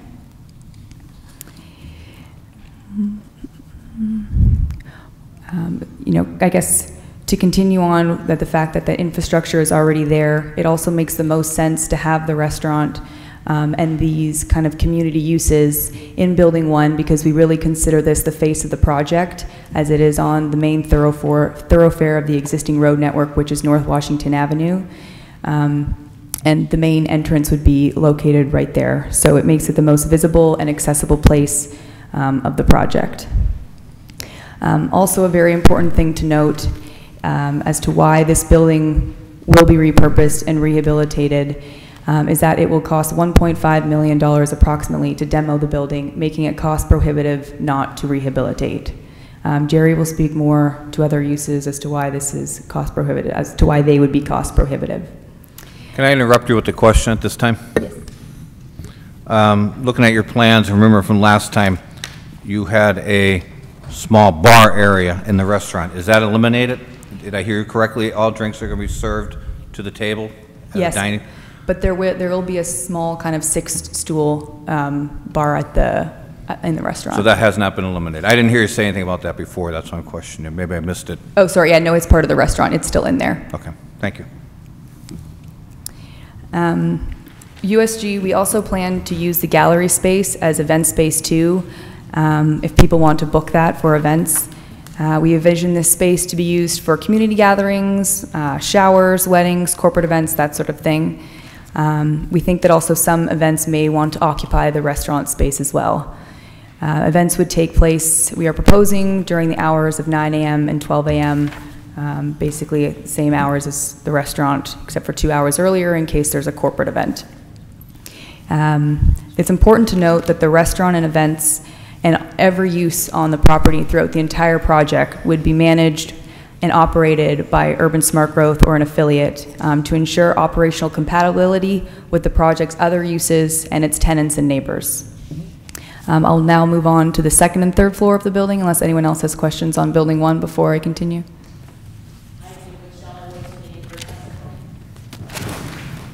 I would say let's, let's hear all three floors and then. Okay. The plan for the second floor is to have seven offices ranging in size between approximately 250 square feet and to 395 square feet. The seven offices will total 2,019 square feet. All the offices will be located along the east side of the floor. Along the west side of the floor, there will be six live-work studios. Each studio meets the 600 square foot minimum size requirement the six live-work studios total 3,844 square feet. What we mean by live-work is a space where a tenant can both work. We usually see this in other projects where it's a uh, like a freelance graphic designer or a, or a painter or someone who just has their own uh, law practice and it's just themselves um, working, and they can also reside there if they wish. Um, at many of our other projects, we find these uh, very high demand because of the flexibility and affordability that they provide people. The plan for the third floor is quite similar. Um, there would be six offices ranging in size between 230 square feet to 250 square feet. The six offices would total uh, 1,425 square feet, and all the offices would also be all along the east side of the floor. Uh, similarly to the second floor, along the west side of the floor of the sorry of the third floor, there would be six live-work studios. Each studio meets the 600 square foot uh, minimum size requirement as well. Uh, the six live-work studios total 3,908 square feet. Um, I know that was a lot of numbers, et cetera. So to summarize, on the second and third floor of Building 1, we are proposing a total of 13 offices totaling 3,444 square feet and 12 live-work studios totaling 7,752 square feet. Um, lastly, the thing that I will address is parking. Um, as I mentioned before, the entire project has 282 spaces currently on the plan, 117 of which are located in Scranton. The uses described previously on the ground floor, second floor, and third floor, according to Scranton zoning parking requirements, require 61 spaces. Um, therefore, because we have 117 in Scranton, we have sufficient parking for the uses we are proposing in Scranton. I have a question on the live workspaces. Mhm. What do they consist of? Just, and what do they consist of? Is there a kitchen? Is there a bathroom? Is it a typical apartment? Uh, yes, there's a bathroom and there's a small kitchen. Okay. Our architect will be able to kind of give you some more specifics on Well, I was gonna say, some of the drawings seem to have it, and then some of them don't, as far as the plumbing. Okay, thank you.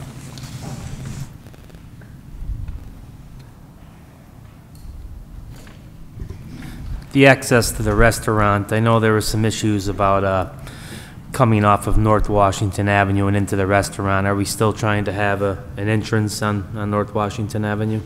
Uh, you mean pedestrian entrance or Yes. using the driveway? No, pedestrian. Yes, there's a, still a pedestrian working entrance um, in the building that we would use.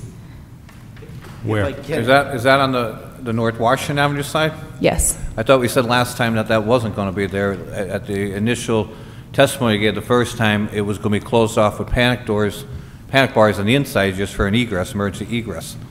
Um, but still something we are happy to consider. That was something in conversations with the Green Ridge Revitalization Committee, um, something we are willing to offer to mitigate noise and, I guess, pedestrian traffic. However, we'll- as I'm sure we'll get to later this evening, those discussions, we couldn't reach a middle ground, um, and therefore we don't know if we're going to be proposing that. If, um, you know, I I thought, it- I thought it was kind of agreed upon at your last testimony here. So that, that- has that changed? So it's off the board at this point there, that, that? I wouldn't say it's that? off the board, but we're not committing to that being a exit-only entrance at this time. Okay, thank you. Calling your attention to the uh, master plan that's up there, where's the primary entrance for building number one going to be? Maybe this answers your question. Which is off-site on the property.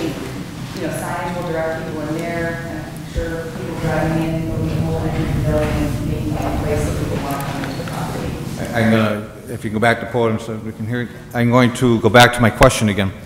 Uh, And just sitting here thinking, refresh my mind, one of the concerns was parking in front of the building.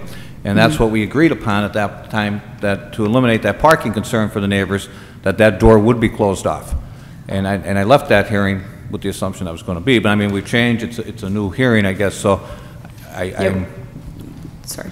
I I just thought that, um, that was something that I could look forward to still being in that package tonight, but. Yeah, I think what she's saying, it's not off the table, but it's part, it could be I part I of understand that, but what. I'm saying is, it was on the table last time, and I thought we left here with it on the table. Did you guys have a meeting after the the zoning board to try to negotiate stuff? Is that what happened? Are you referring to the Green Ridge Revitalization Yes. Committee? Yes, we did. And then that's when things kind of fell apart after the meeting? Yeah, we can address how those conversations went. I'm sure we both will. Um, But we're committed to not, um, to agreeing to no off-street parking, or sorry, no on-street parking. We aren't going to get in the way if Scranton wants to make that there's no street parking on, we have sufficient parking on site, and we're not going to object to uh, no on-street parking outside the property. I- And I don't mean to badger with this question or anything like that, but in all honesty, there has to be some middle ground that you people could have came to, and- and instead of coming back here all the time and everything. I'm not- I'm not finding fault with anybody, so relax. But I'm just saying, I I would like to see this just worked out to where, like, you know, it- it... I'm... Yeah, I I- I I agree. I mean, My point is, because now we're going to go back to the drawing board again, I feel. Uh, We're going to meet with the the neighbors again, like tonight, and uh, I don't think none of us want to sit here the whole night to negotiate stuff out. Uh, I would have thought that a lot of this would been- have taken place by now.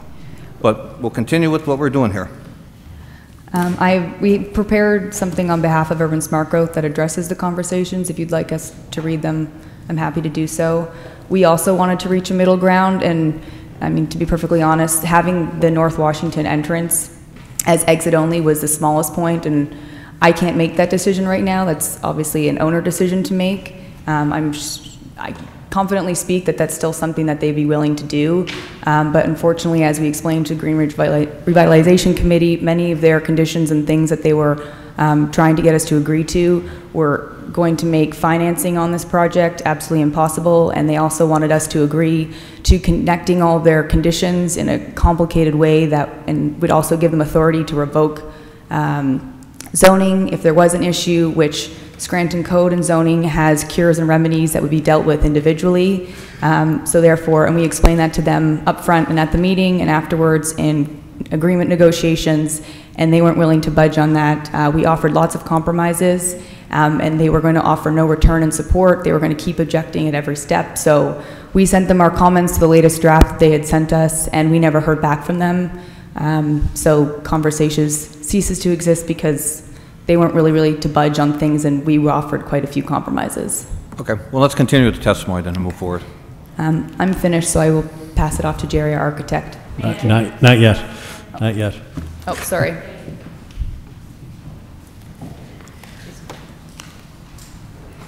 Do we share the microphone in this instance, or should I sit down and use that one? I'll use that one, If you sure. want, if you want the microphone. Say, I want to switch seats with me for one second. Yeah, we'll see. Does this work? Yes. Okay, great. Um, Hillary, just to be clear, um, this is definitely going to encompass a bar. There's no question about that. No, it's not going to encompass a bar. It's going to encompass a restaurant that will have a very small bar area where they're serving drinks. Okay, with six It's seats. a family restaurant. There'll be six seats at the bar. Yes, That's it. approximately. Approximately. There could be more. Probably not the way it's designed w- right now in the plans. Okay, but we're going to serve alcohol to the people sitting at the tables? Yes. And we're getting, you have to get a liquor license to do that? Yes. And what about the outdoor venue? Or is alcohol going to be served at the weddings at the outdoor venue as well? Potentially. We'll have to get a liquor license, and we'll have to comply by the rules and code of the liquor license. Okay, now with regard to the outdoor venue, that's where you're going to have your events that you described to us as weddings and concerts, is that correct? And indoor and potentially outdoor, yes. Okay. In the lower courtyard, and, well, sorry, in the upper courtyard. And they're going to go till about midnight? Yes. Okay, and there's going to be noise associated with those, there's no denying that? Yes, there's going to be noise, but we'll have to comply with noise ordinance. Okay. Now, um, have you provided any updated or new traffic study for us or for the board that's required under the zoning, zoning ordinance regarding a non-typical day with traffic? Yes, we have a report, and we have a traffic engineer who will be speaking to the results of the report tonight. Is it the same one you gave us in the past? Uh, no, it's been updated. Okay. Did this person actually go to the site? I believe so. She grew up in, around Scranton. She'll be able to Okay, speak so to that. that, someone's going to testify to that this evening? Correct. All right, what about stormwater management plan? Pardon? Have you obtained a stormwater management plan? No, that is something that's dealt with later on in the entitlement and planning process. Now, with regard to, um, you start to talk about parking, you're going to have about 282 spaces. Just to be clear, the green space in front on North Washington Avenue, the soccer field, is going to be turned into cement parking, correct? Not cement, but it will be parking. Okay, fair enough. And then in the back, you're also going to be asking for a special exception so that you can create, I'm going to use the term cement, maybe concrete or some other form, parking closer to Meadowbrook Creek. Is that accurate? I don't know where you're referring Well- to in the, This is all relevant. If I can, if we can, we have the plan here, if I can just identify where on the plan we're talking. I'm unfamiliar with that. If- Are we talking about Scranton, or are we talking about Dunmore? I don't know, but they told me I'm allowed to talk about eight, all nine The s- buildings the here s- tonight. The stream doesn't hit um, the property in Scranton. Um, ex- According to the Penn E DEP, All right, let me go back to my original question. The stream that we believe does hit Scranton because it's involved, been involved in a long litigation with the city of Scranton, nonetheless, you're asking to create a parking lot closer to that stream, is that correct? I- I- I'm asking her, please, Bill. If I can, one, my objection goes, uh, Meadowbrook Creek starts in Dunmore, it goes all through the city of Scranton, it Ah. ends up down on Myler Avenue and goes into the Lackawanna River.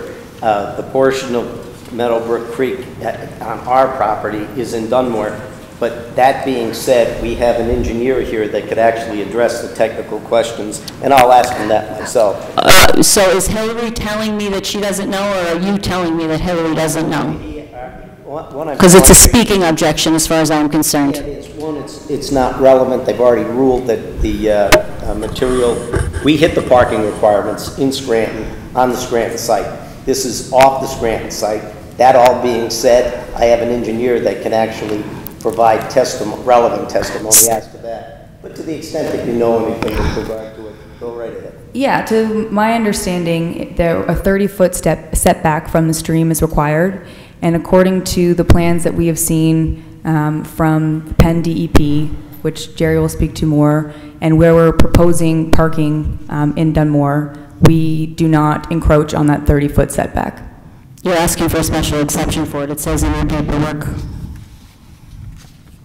Bill, so I don't, Did- Dan, do we really care about parking in Dunmore Well, for? When it's close to Meadowbrook Creek, Creek, and it- the creek runs through Scranton? Um, Not, well, not on well- this project. All right, I will wait for the engineer to maybe comment on that. Uh, Hillary, architect. oh, I- okay.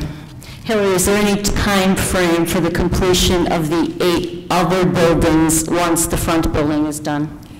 Yes, we plan to do all nine buildings together. We've never said we were going to do one building without the others. And in discussions with you, we offered, the GRC, we offered to start construction on four of the eight Dunmore buildings before we opened up Building One. That was just for the board's information. That was the compromise we were willing to make with them. Um, It was one of the many compromises that wasn't sufficient. And by no means are we planning to do Building One and not do the other buildings.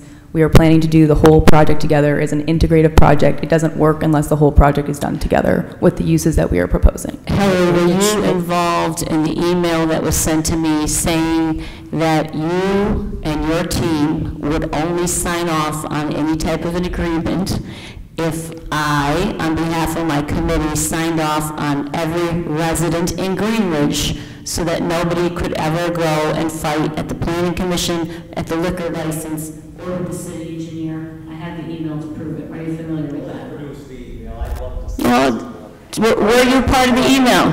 I don't find it relevant, but I would Mrs. like- Dempsey, could you back away just a little bit from the From the- from microphone? the Just- microphone, Oh, yeah, sure, sorry. Because I can't hear him. What do you want me to? Um, oh, okay. Okay. Is that better? Uh, I'm I- here I presenting can- a case, so what we're looking at is how something got settled, so I think, She spent, she Yeah, I- spent 10 minutes on it. I I mean, didn't I really think think it about was twenty Attorney, either. Attorney Jones, I think what the stenographer asks is that when you speak, you take it, the microphone, and when she speaks, she takes it, because Right, thank you. Okay. Um, Hillary, for the people that you are planning to have as residents of the facility, is it fair to say that um, they will need to move their vehicles between the hours of 12 PM and 6 AM? No, I don't know where that, I'm not sure what you mean by that question. Okay, so 12 PM is lunchtime, and 6 AM is in the morning.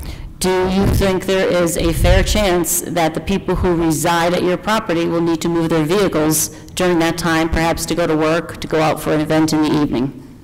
Oh, well, if they're going to leave their property, yes, and they're going to be driving somewhere to leave the property, they're going to have to take their vehicle. During those timeframes? I already actually forgotten the time phrase that you mentioned, if you could Uh, repeat. s- Sure I can. It's 12 PM to 6 AM. I mean, I would say that if anyone's going to leave the property in their vehicle, they'll be taking it at all times of the day. That's Okay. part of living and working and, I don't know. And as you have it set up now, all entry and all exit will be on North Washington Avenue, is that correct? No, Where is the other entry and exit? The loading dock? Jefferson? The one that's closed and is one way when it opens up? Pardon? Jefferson Avenue that's closed right now? I- If we can. There's- It- Jefferson Avenue is a uh, thoroughfare in the borough of Dunmore, uh, presently only because I drove out there yesterday. They're replacing the bridge on it. We're not going to be open before the bridge is done. Okay, But so, do- That, that has always been an entrance and exit for this facility. I don't know if that facilitates moving it. It's just an interesting dynamic, because I'm asking a question of a person, and I'm getting an answer Right. from the Right, attorney. I- I- I'd, I'd like to hear, where, where are the, where is the entrance and where is the exit? Well, right now, we have an entrance in Scranton, which is the North Washington driveway. Mhm. We have the Jefferson, and there is a small entry on Evelyn Street, because there will be a bit parking there, so uh, they'll have to use that to get to the parking Could you, spaces could there. you show us on your- your display here?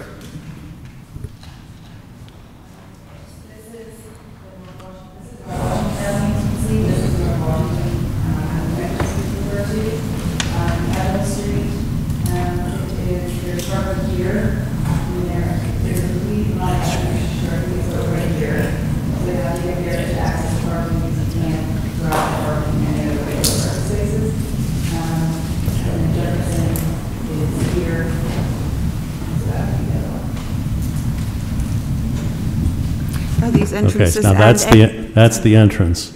Where are the exits? I was just, that's what I was just asking, are they entrances and exits? Are they Yes. both, you can enter and exit from the same? Yes. Hillary, um, Evelyn Street, have- you and I can agree, that, that cannot take two cars at one time, is that correct? Um, Our traffic engineer, who's here, um, says that the street is actually, she'll speak to this more, is 18 feet wide, I believe, and that is technically a two-way road. This is ridiculous. Okay, I have no further questions. I- If I can, just a few uh, follow-up. With regard to the uh, entrance and exit on North Washington Avenue, Hillary, is, has that always been there serving this particular facility? Yes. And with regard to the entrance and exit on Jefferson Avenue, has that always been there for I this believe so, yes. And with regard to the entrance and exit for E- Evelyn Street, has that always been there servicing this facility? I believe so, yes. Okay.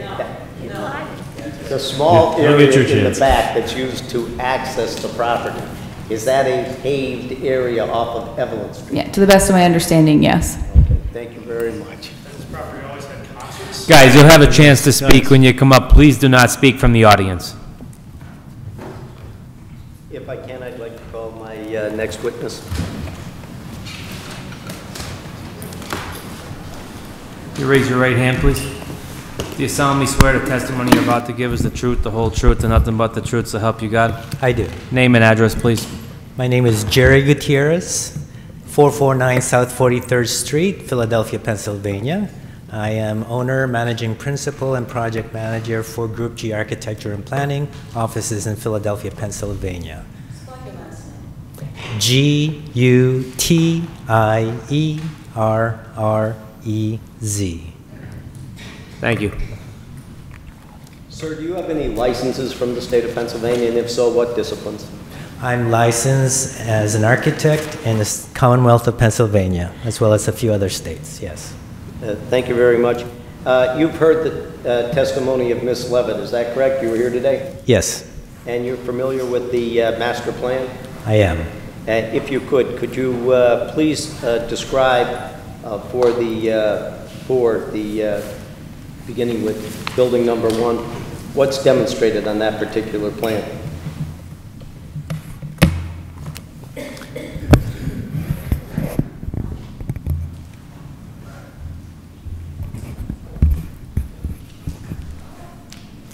So what you see here is basically the, the um, overall plan for the entire campus, which is bounded by North Washington, Electric, Jefferson, and Evelyn.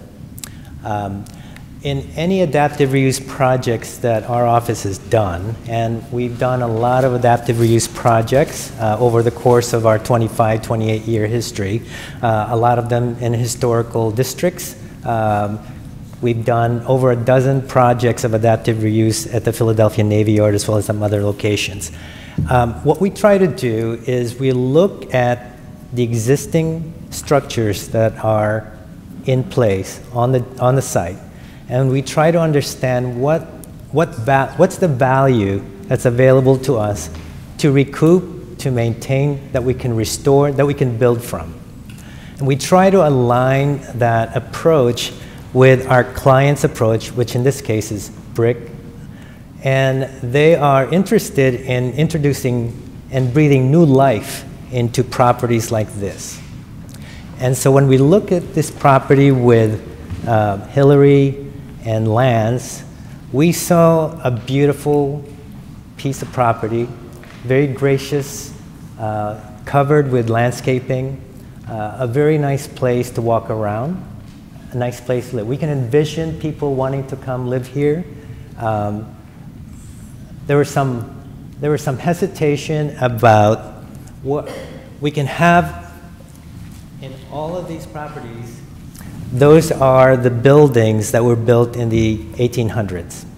Um, because of their previous uses, they were actually configured as dormitories, apartments, small apartments. So they were very much aligned with the idea that those could be readily developed as multifamily residential. But in any of Brick Investments projects that deal with projects of this magnitude, what we look for are primal in a way. It starts with these buildings, which is shelter. And along with shelter, we, we think about people living in those buildings.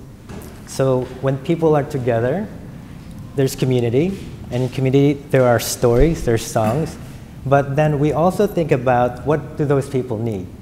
They need food, they need a place to gather. And that's where building one comes in. I know that Hillary mentioned earlier that because of the location of building one, it presents itself at the very front of the property along North Washington Avenue. So it becomes the face of the development. It becomes, in a sense, the living room, the entrance foyer, the kitchen, the dining room for the entire development.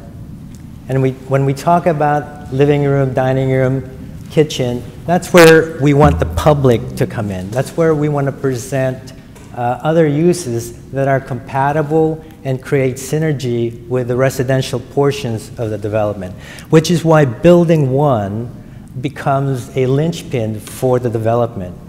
It creates the energy and life that the residents can be part of, as well as an ability for building one and the areas around it to provide a common gathering space, not just for the residents, but also for people from the community to come and enjoy the amenities that Hillary mentioned the coffee bar, small restaurant with a little bar.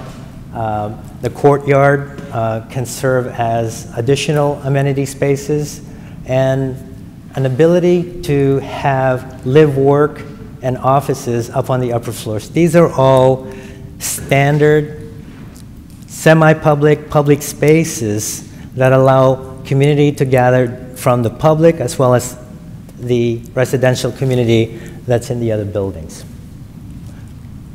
It's also, this corner presents itself as well as a natural place to provide additional parking because we understood that based on both Scranton and Dunmore zoning code for the uses that we were exploring that we needed to provide additional parking. In looking at the entire property, uh, given that Meadow, Meadowbrook has a topography that's not conducive to developing parking nor building, we felt that the most logical place to provide parking is this corner, which is currently a playfield. It's flat, but it's also high above the street on North Washington as well as Jefferson, or Electric. Um, it's currently uh, planted, a little bit of planting is present along that edge, and we plan to enhance that planting with additional trees as well as an understory of shrubbery that's about three to four feet. So in any case, we see that um, the topography of that level land approximately six to eight feet, depending on where you are along the road here. Six to eight feet above the road, and with additional landscaping and tree planting, the cars that will be in that parking lot will hardly be visible from the street. As Hillary mentioned, we have primary access and egress from the property to North Washington. This is the existing driveway.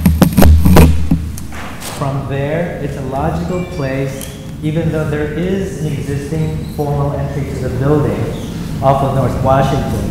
We felt that because we're, because of most of our patrons and visitors are coming in on North Washington Avenue, parking is here, so the logical place for an entrance is from the parking lot through a proposed small addition that straddles Building 1 and leads off to the existing tunnel enclosed walkways to the other buildings.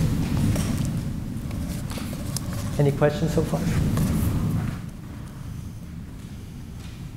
So again, we're providing enhanced landscaping. We want to, we really want to play up that this is, has a bucolic environment. Uh, we don't want to take away from that. We want to actually add and enhance what's already there. So we're adding landscaping along the street edges. We're also adding landscaping along Evelyn Street. Okay. I, I, will, I would like to take a moment to um, uh, speak on the floodway. Um,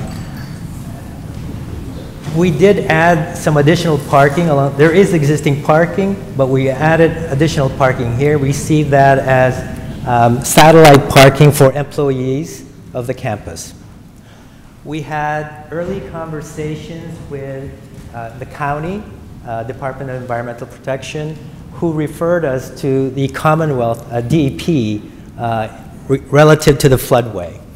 Uh, in discussing, they provided to us the footprint of the existing floodway, which we superimposed on this plan, and they said to us that if we were to move forward, we would have to submit technical drawings to them so that they can, and we would have to survey the property because the information they gave us for that floodway that FEMA developed was about 20, 25 years old. And given the period of time and the way nature works, this floodway footprint might have changed since then. So we would have to provide a new survey of that floodway so that we, when we submit technical drawings to uh, DEP, they can confirm that we are compliant with uh, the floodway system. Okay? Any questions so far? Uh, from this point on, I, I want to walk you through, even though Hillary gave you some idea of the configuration of the building and the uses, I would like to.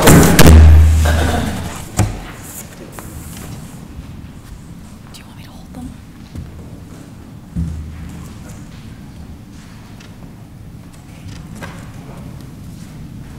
If I can, just for the purposes of the record, we're referring to the uh, master plan uh, that has been marked as an exhibit and distributed to the board as well as to uh, opposing counsel, and I believe we're on page two of that. Thank you.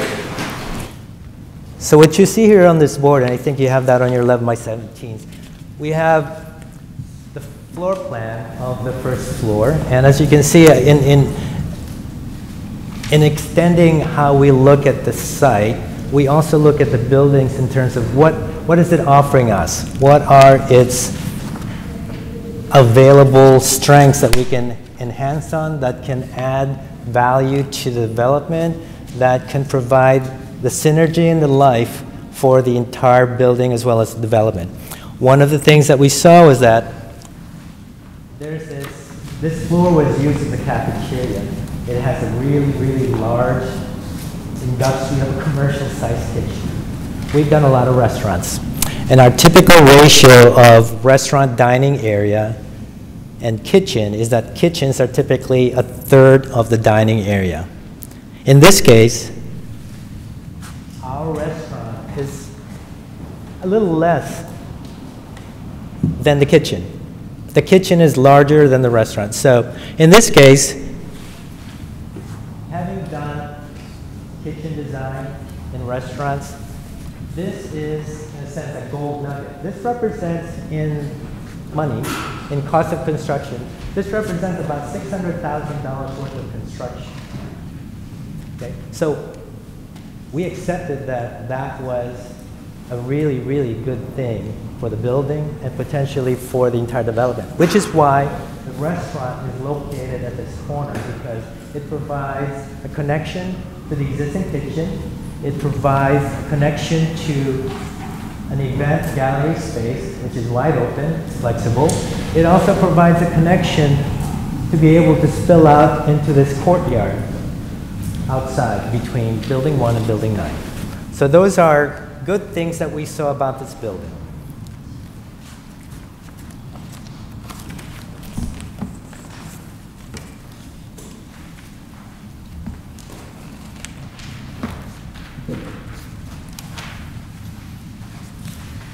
Building uh, floors two and three actually offer very similar floor plans. And in this case, again, we saw the value in how it was currently configured. There's a central hallway, you see here in yellow, that connects an existing stair enclosure on both ends. There's an existing elevator in the middle. Classic double-loaded corridor. What we saw there was an opportunity to maintain that corridor, maintain the construction, maintain the construction of that corridor, and try to maintain as much of the existing classrooms slash offices as well as restrooms that are already in place.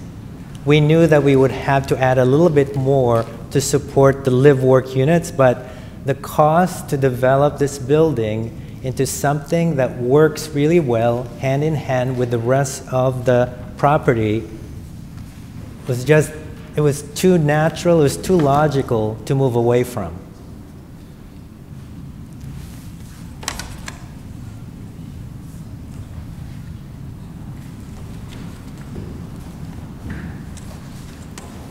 It's actually a series of images. These are three-dimensional images, sort of character images. This is a very early stage of design. This is what we envision it might look like as you walk through or as you arrive at the building. So if you look at image one, you're really looking, if you're northbound on Washington Avenue, you're looking towards building one, and you can see some of the enhanced landscaping that we're seeing along the edge. You're going to see a, a ground sign that announces that this is Marywood South. You turn here for the primary entrance. And then as you turn off that primary entrance, you will see the proposed entry pavilion. This entry pavilion will be a marker for the entire development. This will allow you to get into the restaurant as well as to the rest of the enclosed walkways. If I can, you referenced that as the entrance to it, and I know on page one of the master plan, uh, in describing these buildings, there are nine buildings, is that correct? There are nine buildings. And they're all interconnected, is that correct? And is that uh, something that historically grew out of the fact that this was the oral school and uh, I believe for whatever handicap uh, reasons, all these buildings are interconnected, is that correct? That's correct. And with regard to the heating systems uh, for the, uh, uh, some of the buildings that are, if we can look at page one of the master plan, if I were to take a look at, uh, say, buildings two through nine, they share a uh, common heating system, would that be correct? There's an underground steam tunnel uh, that connects all the buildings. All right, and uh, with regard to the uh, uh, other utilities for that, are they all shared on site? Are the buildings interconnected with regard to that? Uh, They currently are, yes. Okay, now, with- just overall, and I didn't mean to interrupt your testimony, just so they have a flavor for it, you're familiar with the condition of all these buildings, is that correct? Uh, Sir, I can't hear you. Oh, I- my apologies. You're familiar with the buildings, is that correct? Generally speaking, yes. All righty. Now, uh, with regard to the uh, buildings themselves, how would you describe their condition? I've seen buildings, and specifically I've seen buildings uh, from different cities, and I would say that I was amazed and really delighted to see that these buildings uh, have really, really good bones, but I, I've seen uh, windows broken in, uh, existing historic fabric, windows, doors that have suffered. Um, because some, of- some of the windows have been open, some, some, some birds have come in, and uh, birds in buildings are, are, are uh, not kind to floors. Um, So there, it, it's, a, it's a really wonderful cluster of buildings, a lot of character, very worthwhile preserving and restoring. Now, with regard to the uh, particular buildings that you've taken, well, you're familiar with the buildings on site, you're familiar with the uh, zoning ordinance for the city of Scranton, is that correct? That's correct. And with regard to this particular uh, property and the uses that are allowed, uh, have you formed an opinion as to whether those uses uh, could be adapted uh, for uh, use in these particular buildings? Sure. That, that was one of the first uh, pieces of uh, research and analysis that we did, not just for this project, for any project we undertake for adaptive reuse. We look at the existing zoning, we look at what by right uses are available to us, and we try to understand what would it take from a, from a design and construction standpoint to develop the property, in this case the building, so that it would be fully compliant with the current zoning code. Uh, I know that given the uses that are in INSI, a lot of them are, um, a lot of them are intensive in terms of um, needing, requiring higher levels of finishes and fixtures because of the institutional and what I call boutique uses. And I refer to care and treatment centers for children, um, healthcare related uh, uses such as offices, administrative functions for healthcare institutions, colleges, or university. These are all uses that are requiring very durable materials and systems because a lot of people will walk through that building and they will be used intensively. So the, it requires a higher level, more expensive materials and systems. Um, Can you explain to the board what that means? I know you've explained it to me, but, uh, Sure. For example, if we're talking about corridors and these types of uses, we're looking at either um, stone or hard, hard flooring. Carpet, you're going to have to replace that every year. So there's a labor charge, there's a material charge, and all of those things. Uh, walls get dinged up. There's a maintenance aspect as well to these types of uses because there's turnover and people that come and go. Public, public use that's not familiar with these facilities, they don't really pay attention and they don't really care um, about whether they're going to turn the corner and ding the corner. So there's a lot of maintenance associated with these types of uses. Um, we talk about um, special building systems that are required for healthcare-related uses. Um, Highly technical, uh, they need to be supported plumbing-wise, electrically, as well as HVAC, again, adding uh, cost to the construction.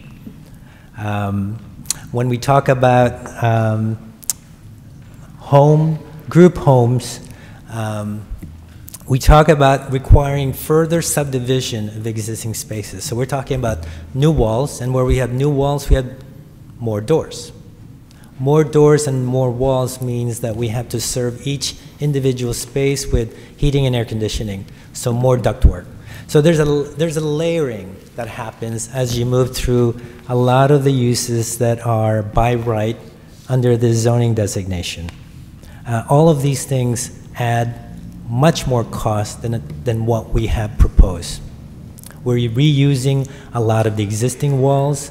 We're reusing a lot of the existing bathrooms. Um, there's just a lot of, of uh, things that we see value that's already there that also works really well with the rest of the development.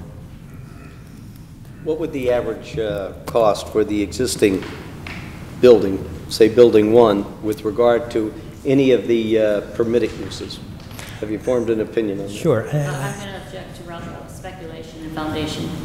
Well, he's an architect. I- I imagine, i- i- if I can, in the course of your business, you uh, actually uh, form opinions with regard to adaptive reuses of buildings, is that correct? That's correct. Would it be fair to say that's pri- probably primarily what you do for a living? That's about 75, 80% of our core practice. Okay, so I'm going to reiterate my uh, uh, question with regard to, say, building number one on this site. Uh, Have you formed an opinion as to the average cost for the renovation or reuse of the existing building uh, for any of the uses that are outlined in the City of Scranton zoning ordinance? Uh, uh, Same objection is 10 out of relevance. You can answer. Oh, mm, it's the basis We're of gonna- my... We're going to allow it. We're going to allow it. Go ahead. It- I said we we're allowing it. I would just ask him to itemize the difference, like, for example, a senior center is going to have a different cost than, you know, Right. as he spoke of, Yeah, I think that requires the ducting and things like that. Are we talking about the cost of this particular building? Uh, y- Yes. Uh, Well, first, let me lay my foundation for it. Yeah. Uh, With regard to uh, adaptive reuses for the building, uh, generally, what are the uh, cost for an existing structure? Well, this structure, building number one. So for any structure, and specifically this structure, we'll look at code issues. Uh, We have to first comply with current building codes, life safety codes, as well as uh, the technical codes, HVAC, electrical, plumbing, fire protection. Those are all things that are basic things that we have to comply with. okay? So there's a layer of cost associated with that that starts at, in this case, because we're reusing a lot of the systems that are already in place, our cost for systems, building systems, infrastructure, is lower than what it would be if we introduced a different kind of use that may not use because of the way it's laid out, because of how uh, their, their, their requirements may be greater than the requirements that we have here. This is a very low, low need, low supply use. Okay? By that, you're saying your proposed uses are low supply uses? That's correct. Now, hearkening back to the uh, zoning ordinance and the particular uses uh, that are allowed as of right, what would the cost of the, uh, uh, to refit for any of those particular uses? Sure. I think you're, you're, Yeah, yeah, I- I'm gonna, I'm gonna say there's a number of uses that could be in an R1, uh, or what, whatever we in here.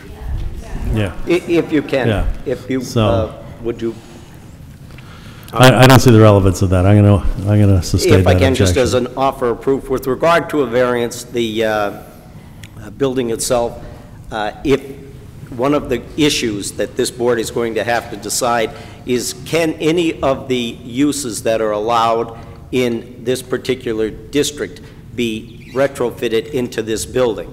And the case law allows that if you can put those in there, if they are not cost-effective, then they are not allowed. That's, that's it. That's why we're here today. That's the primary issue. That goes to the variance, that goes to the validity variance uh, You with regard. can, you can ask that particular question. Well, that was it. Consider it asked. What is it, please? Restate the question? Yes, with, with regard, you're familiar with the zoning ordinance, is that correct? Yes. And you're familiar with the uh, particular uses in that zone. In fact, if I may approach the witness. I'm going to hand you a section of the uh, zoning ordinance.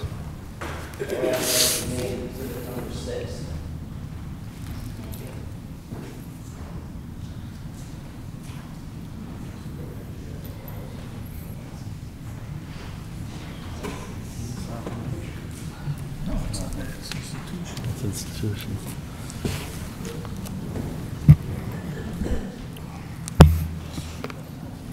Have you taken a look at those particular uses? I have. Okay. Now, with regard to those particular uses that are allowed as of right, you're familiar, and I, I think you've testified to it, but, uh, so that we could all follow you that are not architects in the room. Uh, You've talked about group homes. Is that one of the uses that's allowed there? Yes. All righty. And you've also talked about care and treatment centers for children. Is that correct? Yes.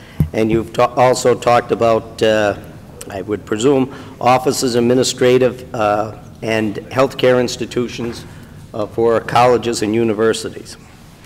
Yes. And uh, in, I would ask you also to uh, consider, uh, it has membership clubs. Are are you familiar with that? And does your testimony go to that?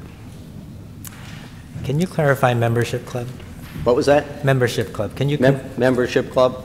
Uh, Well, it's not specifically defined, but by that I would say, yeah, I guess a country club of some sort, or uh, I know there's the Downtown Athletic Club in your city of Philadelphia. I've seen it. It has a nice Yep. swimming pool, eating facilities, et cetera. Yep. Uh, And I believe you can sleep in that particular uh, Yeah. amenity. Very familiar. Union League, Philadelphia Racquet Club.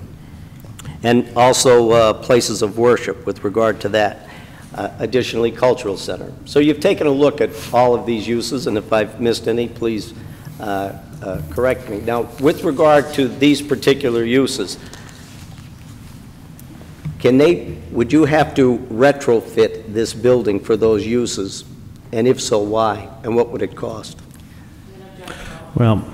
Well, that's, why don't- that's why why we I'm Why don't here. we just ask him, is it economically feasible to, to retrofit this Yeah. building for any of those uses? If you would. And be done with it? Would it be feasible to retrofit this building for any of those uses that you presently, that are allowed as of right, or, and if so, what would it cost? I think what I can tell you is how much, the range of the costs associated with converting this existing building to accommodate the uses that are by right. Yes, that's what Mr. In terms of whether asking. it's feasible, that's, that's, that's a different question. Ah, I stand corrected. If you would please give us the, uh, within your discipline, the cost. Right. So with these types of uses, uh, we're looking at a range of 90 to 120 dollars a square foot. So at 33,000 square feet and some change, that's about four to five million dollars, I believe. I, I don't have my calculator with me, but uh, that's about what it would take. And that doesn't include what we call soft costs, which are design and engineering fees. And there is a greater amount of money that is associated relative to the maintenance and operations of these types of buildings that are often greater than the initial upfront cost of construction and design. And I believe that's what you said were finishing costs and higher use. By that, you mean group homes, membership clubs, care and treatment facilities, cultural centers, uh, offices of whatever type, places of worship, that there are high-trafficked areas as opposed to the uses that we're proposing. Is that correct? That's correct. And that impacts upon the materials and the- then the material cost. Is that what you were getting at? That is correct. All righty. Now, with regard to the uh, uh, specialized system and finishing cost, there, I take it you've concluded that they would be higher than our proposed uses? Yeah, I, I think you, I think you made your point, yeah.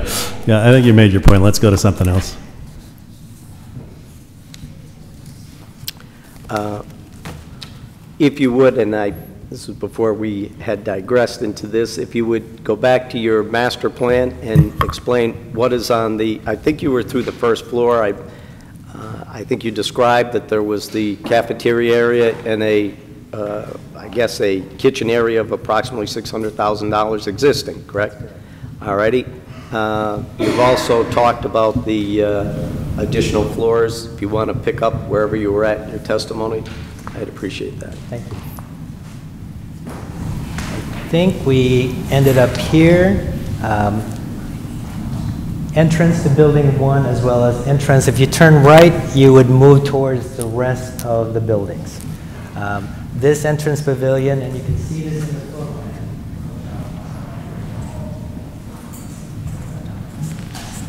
This entrance pavilion, you enter in this direction, so it will allow you to enter left into, past the coffee bar, past the gallery space, and actually allow you to get into the restaurant, common restrooms, elevator. It will also allow you the ability to come through and be able to see and access the courtyard.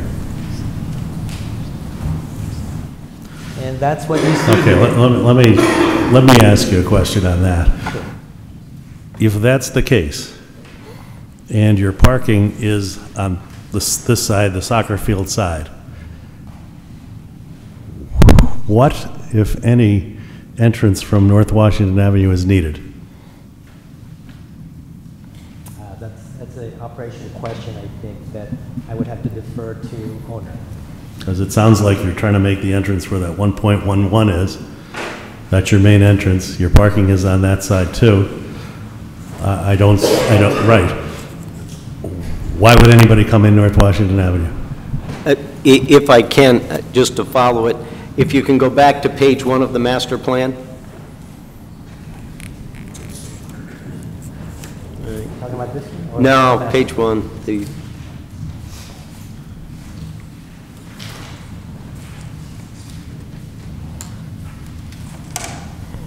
All right, can you point out uh, building number one? All righty, and can you show the uh, entrance off of the uh, parking lot that is proposed? All righty, and if I can, we're looking at page one, so that would be uh, directly adjacent to the uh, parking lot. Does- Does that answer your question, Dan? Once I said everybody's going to come in from the parking through that main entrance, why would anybody come in from North Washington Avenue? Well, That, if you can, can you show Mr. Penatar where North Washington Avenue is? North Washington Avenue is here. I think you're referring. I'm not referring to that entrance. Why would anybody come in that entrance? There's, there's no parking, there's no main entrance. Oh. I- i- If I can approach, uh, North Washington Avenue is right here, is that correct? That's correct. And it directly enters into the parking lot, that's correct? That's correct. And the building number one is adjacent to that parking lot? That's correct. So if somebody was coming into, say, their apartment in building number one, they would come almost adjacent to the building number one and drive in, is that correct? That's correct. Okay, and if they were going to go to the restaurant for building number one, would, would, would they come uh, in direct proximity to uh, North Washington Avenue and come into that? Right. All righty. Uh, If they were going to go to uh, a live-work facility on the second or third floor of this particular facility, uh, would they also come directly off of North Washington Avenue? I think, generally speaking, we saw primary entrance from vehicular traffic coming in off of North Washington, parking here. And once they park here, it's an easy connection to come That's to right. this property. Uh, I know we. That's we- right. Yeah. I think that the, the question is, There- the other entrance in the center of the building that goes out to North Washington Yeah, Avenue. you'd, you'd actually have to go out of your way to use that To use entrance. that, to use that entrance. Misunderstood. I thought you meant for vehicular traffic. Oh, no, no, no, no, for walking into the building. No, I, I got it. Yeah. Okay. Thank you. And I guess uh, I mean, I'm- maybe I'm out of line, but I have another question. No, but I understand the question now. I thought you meant for No, vehicular I meant, I traffic, meant, and I meant once that's you... what I wasn't catching. No, once, once you park and you get out of your car, you're going to go in that main entrance. There's no reason for you to go out to North Washington Avenue and come around. I don't see the, the necessity for having an entrance there. I understand your question now. Okay. The- The other question I have, and maybe this, he may or may not be able to answer it, and I'm just getting it, trying to get it in my head. This bar within the restaurant, is it more similar to a Sambucas setup where you have a bar and a separate uh, room for the, for the eating for the restaurant? Or is it more similar to a Sibio's type restaurant where you have the bar seating adjacent to the, the eating area itself? And maybe Hillary could answer that She better- can, better if I than can, can. I'd like to recall. Uh, I'm just trying to That's picture fine. this in The- my mind, wh- where this bar We're here to answer the is. questions. show you. If you look at page six, this is a view, if you're walking in, imagine yourself walking in in this direction. So the first thing you'll see is the image of the restaurant, which is represented in view six. So that's what you'll see. So predominantly, it's an open dining room with tables and a counter. And then in the corner is a very short bar. You can see it here on the left. Okay, so it's not a separate room, it's within the restaurant itself. within the It's more, restaurant boundaries. more a Sibio's type setup, in other words. If you can, if we can, uh, I'd like to call Hillary so she can explain that. Obviously, that's, a lot of people have a concern with regard to that, if you would. Uh, Jerry did a good job explaining, but um, Attorney Penatar was actually at Sibio's earlier today, and so I just wanted to say that yes. It- Okay. Yeah. Okay, just so we, so the board could picture it in their mind where this quote-unquote bar is. Okay. Okay. Thank you. My apologies, my field research shows Scranton bars and restaurants. You weren't with her at Sibio's today, huh? No. Are you done with the direct testimony? Oh, With, if I can have a moment. Uh, With regard to the uh, particular, uh, well, I think you've hit the, uh, the cost of it. Have you formed an opinion with regard to the uh, cost of building number one? Oh, With, well, we actually have it. Two is with regard to, and I will rephrase it. With regard to the uses that are in the particular ordinance, have you uh, formed an opinion as to the, uh, I know you've given us a cost to it, is those by right? And if so, what is that? Uh, I I think, I think we already asked, asked and answered that. Well, I'm asking him for his opinion now. He did give the factual he- one. I'm just asking for the conclusion, which would be his opinion. Well, he, he gave it, he gave the conclusion. Well, I'd ask him to reiterate. Maybe I missed Okay, that. but- Go ahead. Go ahead. Same objection. Thank you. Answer. We, we have done some very preliminary pricing, and we call it cost opinion. okay? Um, Based on what we are able to save with building one's existing fabric, and that we're able to save a lot of the existing plumbing risers, uh, all the, a lot of the walls on the upper floors, uh, we estimate, in our opinion, that we're looking at a, a project that's about $50 a square foot. All righty. And uh, with regard to any of the uh, uses, if we were to put those into the uh, structure, you've given a number for that. Would you say they're cost-effective, cost-prohibitive, cost-neutral? The by right uses? Yes. I think I gave that earlier, but I repeated, I- it's, it's about 90 to $120 a square foot. And with regard to uh, the entire building, if you, what would it run us? I'm sorry? What would it cost us? If we- we're looking at the $50 per square foot for, as indicated here, Right.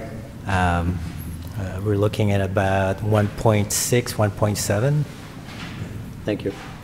million, yeah. All right. Good evening, Mr. Gutierrez. Can you hear me okay? Yes. All right, great. Um, My first question is to the parking lot in the corner where the former soccer field would be. Um, Where would the water drain? I'm sorry? Where would water drain from that area of the parking lot? So we're, we're in our early stages of design. However, we're very sensitive to stormwater. Uh, It's something that we practice in our office. It's a requirement for a lot of our bigger projects. Um, So in dealing with stormwater, traditionally, we could do this as a tradi- traditional concrete lot, but we'd prefer to move towards what we call permeable paving. We can even do recycled asphalt. That will allow stormwater to actually be slowly absorbed back into the ground instead of being released suddenly into your current infrastructures. So permeable paving is actually a much more des- desirable solution in this case. And when it permeates through the parking lot, where would it go? Goes into the ground. That's where it goes right now. And when the ground is filled, where would then the water go? Where it goes right now. To the, Goes into the ground. right, since water runs downhill to the quickest waterway, it'd go to Meadowbrook Creek? It probably goes to medical, Meadowbrook. Okay. Meadowbrook. Have you submitted the technical plans to DEP? We are not at that stage yet. Okay. Could you do that at the same time you could, uh, the planning commission could have its time to review? That is something that our client will have to decide on. Okay, thank you. Um, If I can go to the, um, sorry, my notes are a little messy. My apologies. If we can go to the um, zoning attachment three um, that Attorney Jones gave all of us, if we can talk uh, just between the differences of why one is 90 square feet and one is 50 square feet, if you can just walk me through that. Because I'm looking at number one, um, you know, a care center for children. Let's say we took off the restaurant and had that event space be a care center for children. How would that be more expensive? Well, there's a cost of demolition. There's a cost of demolition. You would, you would, you couldn't use it as a void space, such as a storage area? You'd have to demo, demo that whole side of the building, the whole restaurant area?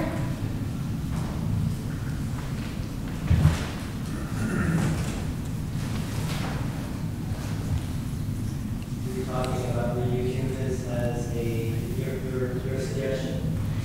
As a, as a child care center? As a child care center. Right. So there's, there's gas here, there's hoods, there's ductwork. Uh, The, the floor is quarry tile, very hard surface.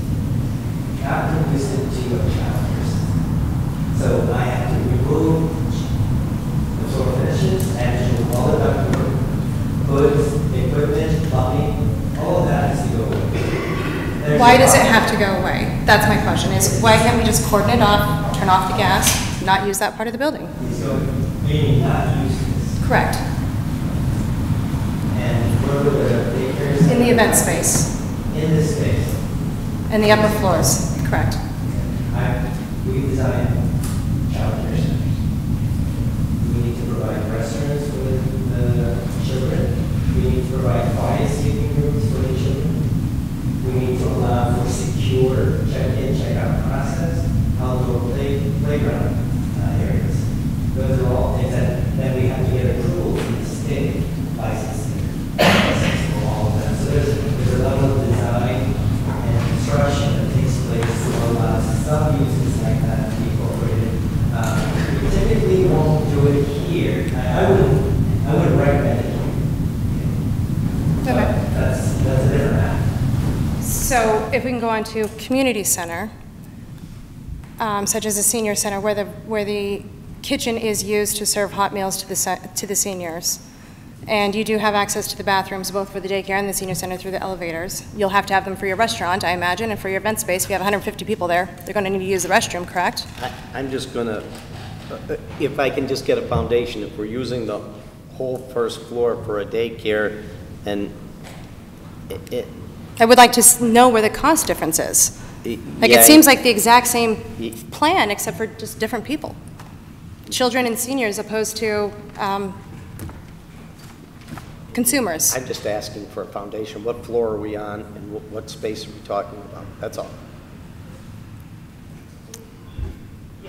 As for the daycare, you could use the upper rooms for the sleeping. You could use the upper rooms for arts and crafts. Same with the senior center. Yeah, I think we understand that the space could be used for other, other things. I mean, I think we understand that. Right. And I'm just trying to understand exactly where the cost difference is, because it seems I like don't if they think were the cost retrofitted for the difference same. matters much to us. If I may, just one more for the record.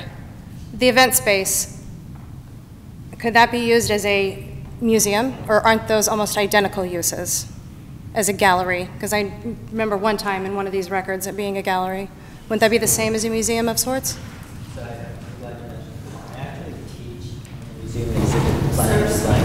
You're gonna have to go back to the microphone, please.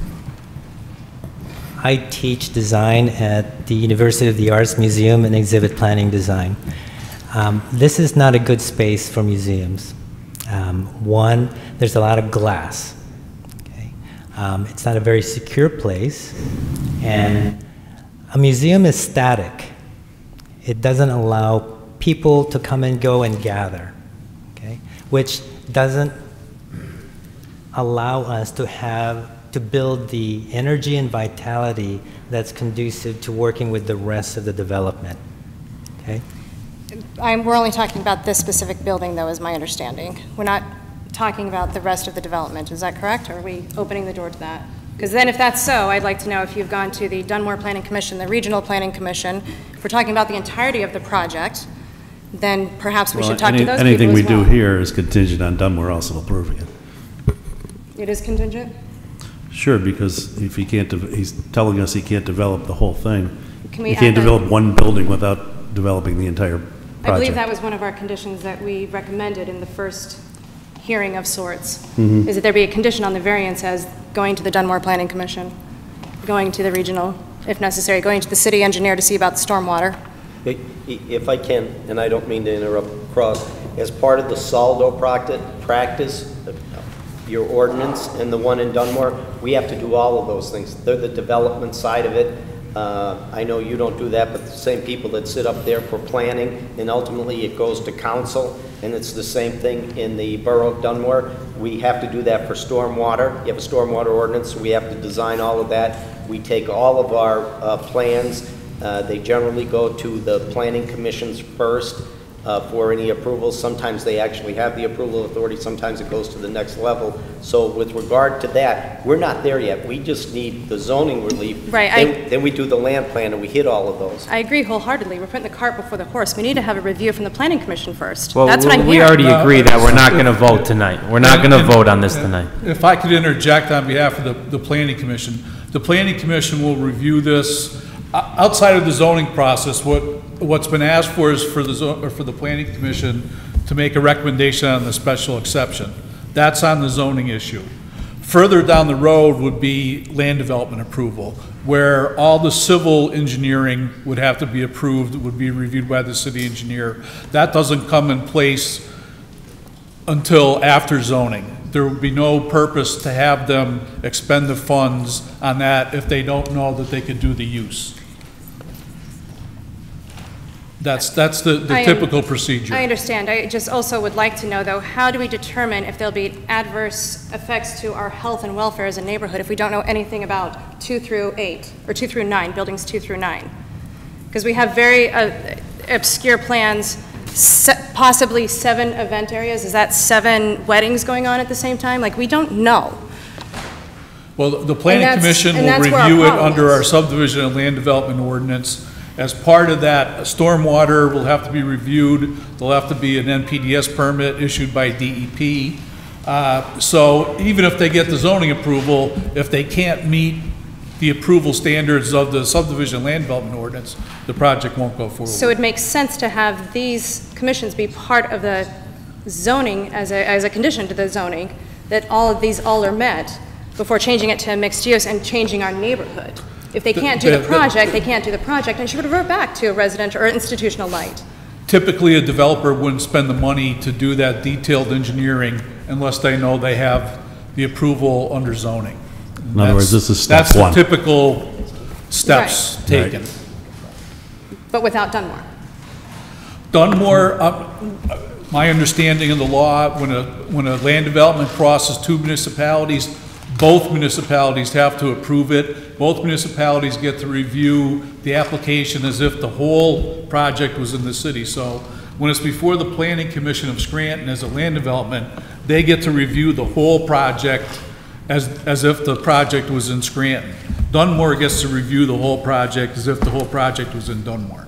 Then we And would. both would have to approve it. Then we would reiterate our request that there be a, a contingency on the variance. I'll continue with my, if, if you'd like.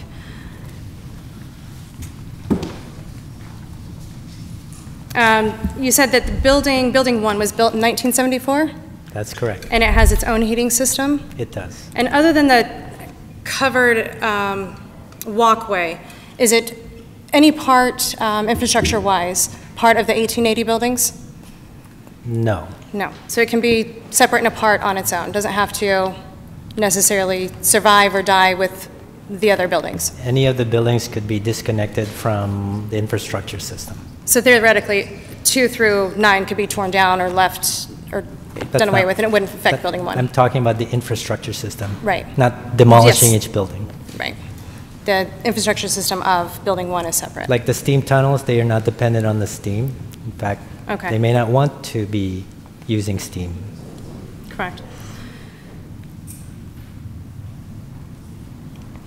How, um, for building one, you mentioned that birds and broken windows and that sort of thing have, um, other than the good bones, have any, do you know of any birds? Um, Are there, is there a bird problem in that building? Are there broken windows of that building?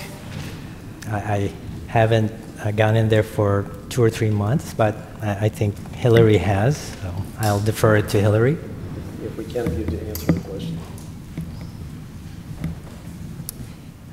In my experience um, over the last many months, probably a year now, um, in the times that I've walked that building, there are birds, um, there are broken tiles, there are broken windows. At one point, there was caution tape outside of the building, which I assume was uh, for safety of uh, bricks potentially falling. Um, You know, I'm speaking on behalf of the owner. They've seen a lot of buildings um, that have been blighted, and, you know, it- there's difficult to keep up the maintenance because that's old and it's expensive to do so. Um, And they believe that it's right at, these buildings are right at that turning point where it's just going to become extremely expensive um, if they're kind of left any longer without someone paying attention to them. Use the plural buildings. Um, What condition is, building one, especially because it's a newer 1974, is Building one is in poor condition as well. I wouldn't say it's as bad, but it's also in poor condition. All right, thank you. Yeah. If I can, just to follow up with regard to uh, building number one, if you would, i- are these buildings interconnected? Yes, all of them are connected. And Was there a reason for that? Yeah, I'm under the um, understanding um, that all the buildings were connected because it was a school and there was safety concerns for the children that attended the school. Um, And so they connected all the buildings as a safe way for the children and students and their visitors to move throughout the buildings. Um, They could reach all of them, I guess, indoors. Thank you. I have three very quick questions for the ar- architect, am I right? Did I get that, architect? Um, You're also adding an addition onto Building 1, is that correct? That's correct. And what, what about the addition? What's that going to be? How big is that? What about the aesthetic of that? What about the, I'm sorry? Aesthetic. The aesthetic. So it's a one-story addition, it's high ceilings, okay, because we have to straddle uh, above the existing roof of the enclosed walkway. Um, It also allows us to bring a lot of light in from the courtyard into that entrance area. So we see that as a very open and transparent space that allows people entering through the entry pavilion to see the courtyard beyond, as well as to be able to navigate past the coffee bar.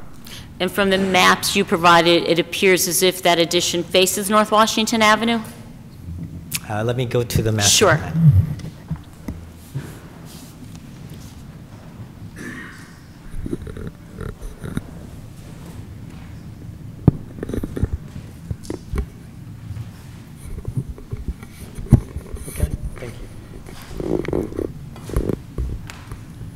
So this is the addition. Correct. It's a triangular addition, okay? So this face of it faces the parking lot. Right. Okay?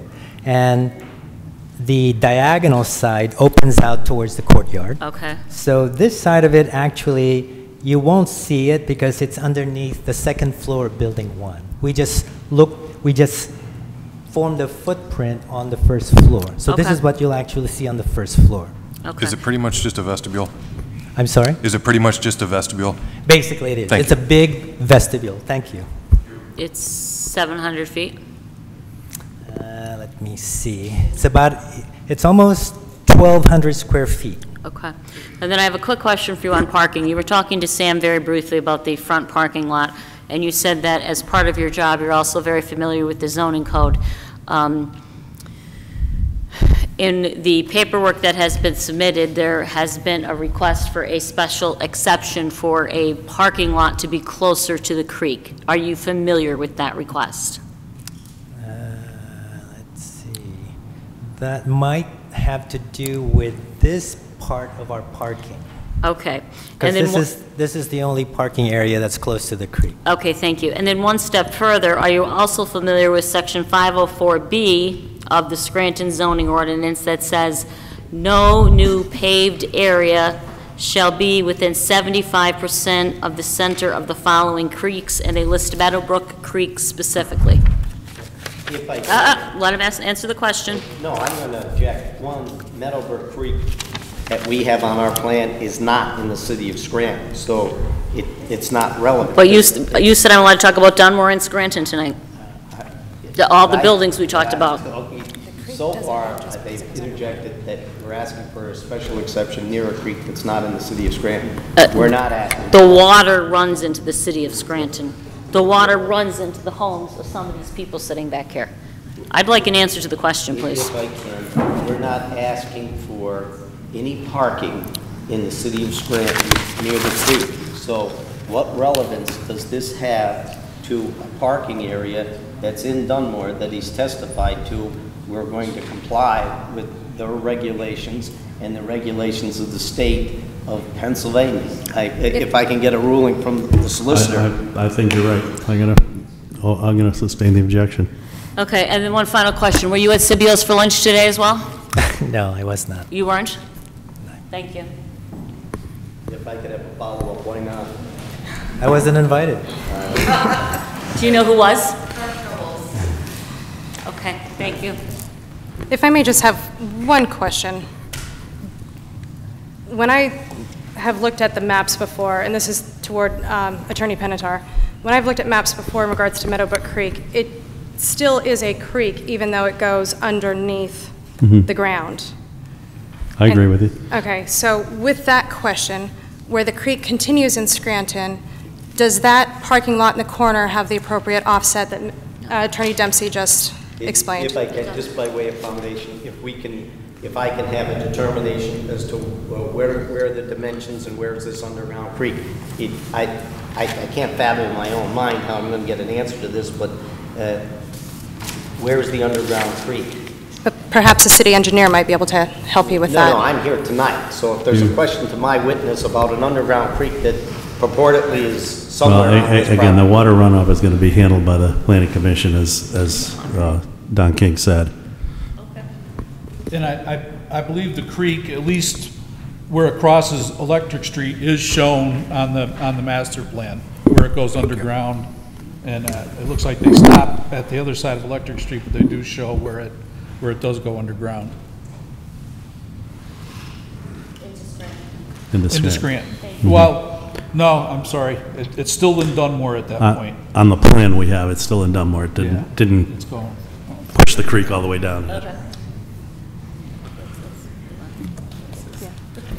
We have no further questions. No further questions. Any other witnesses? Oh, yes.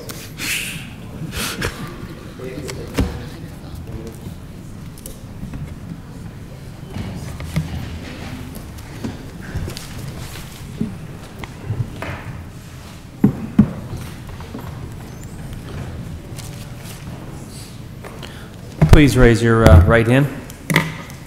Do you solemnly swear the testimony you're about to give is the truth, the whole truth, and nothing but the truth to help you God? I do. Name and address, please. Anne Marie Vigilante, 1943 Detweiler Road. I do. Anne Marie Vigilante, V-I-G-I-L-A-N-T-E, 1943 Detweiler Road, Harleysville, PA, 19438. Thank you. You're If I welcome. may uh, approach, I'd like to offer the uh, vitae. Legacy path, whatever his last name.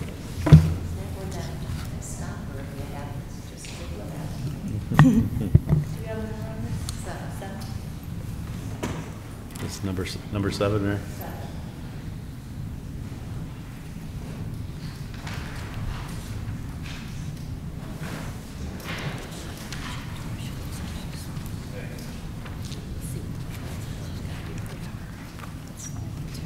Anne Marie, could you give a little bit of your uh, background for the board? Sure. I'm currently a senior associate and vice president of Langan Engineering. Um, I oversee our traffic and transportation group in our Pennsylvania offices. I have 22 years of experience. I'm uh, a registered uh, professional engineer in four states Pennsylvania, New Jersey, New York, and Delaware. I have no objection, I'll stipulate to her credentials. Okay, thank you. If we can, because I'm quite proud of the fact of your accomplishments. Where are you from, Anne Marie, originally? I'm originally from West Scranton. Thank you very much. Good to be back. that microphone over.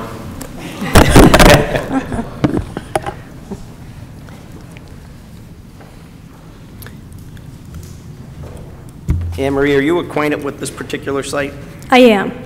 And could you please describe for the uh, board uh, the site, what you undertook with regard to this particular site? In terms of the traffic? Yes. Did you prepare a track- traffic assessment for this site? I did. I, I prepared a uh, preliminary traffic assessment. And if I, you have a copy of it? Yes, I you do.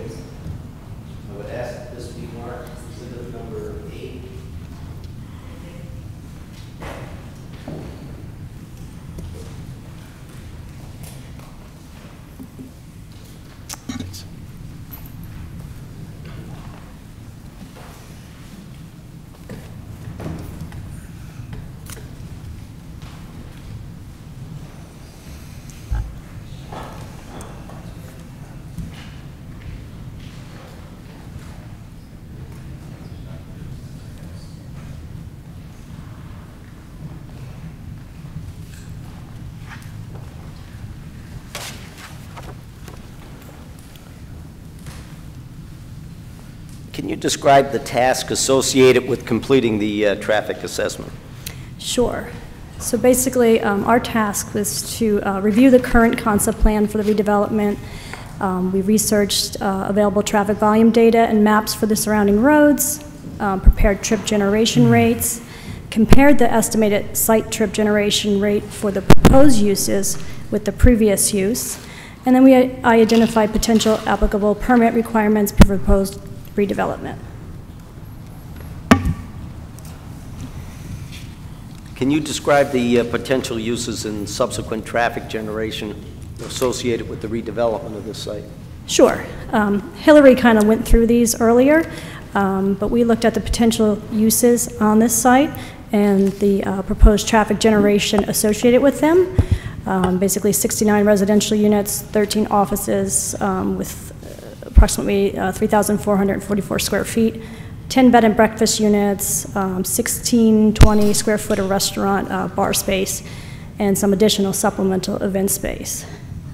For the purpose of our analysis, uh, we conservatively combined the bed and breakfast with the residential units, because ITE trip generation rates, um, there is none for bed and breakfast. So we combined the uh, bed and breakfast with the residential units, um, resulting in 79 units.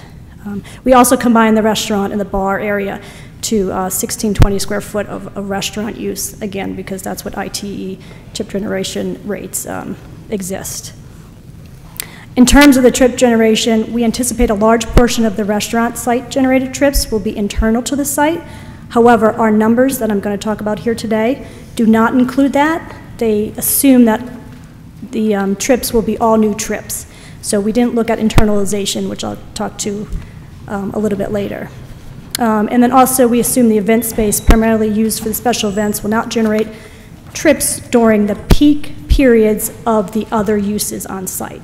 So mainly, we're looking at um, the event space, uh, like Friday and Saturday nights, which don't coincide with the peak period of the other uses, the residential, um, restaurant, things like that. Um, So looking at the combined site, this is uh, the uses in both Scranton and Dunmore, we're looking at a trip generation um, of 48 additional trips in the morning peak period and 55 additional trips in the evening peak period. So again, that's for the entire site combined. Um, What that kind of results in, to put it in a little bit more layman's terms, is approximately one new trip every minute, okay, for the entire site that would be generated across the entire site. Again, if you know anything about traffic engineering, trips is entering and exit, so that doesn't mean there's 48 new vehicles, it's um, 48 trips. So that results in 24 additional vehicles. And in the evening peak, you had 55 trips, so that's really 28 vehicles. So just to clarify that a little bit. When we looked at Scranton only, as what we're here for tonight, um, the morning peak hour trips is 24 additional trips, and the evening peak hour trips is 25.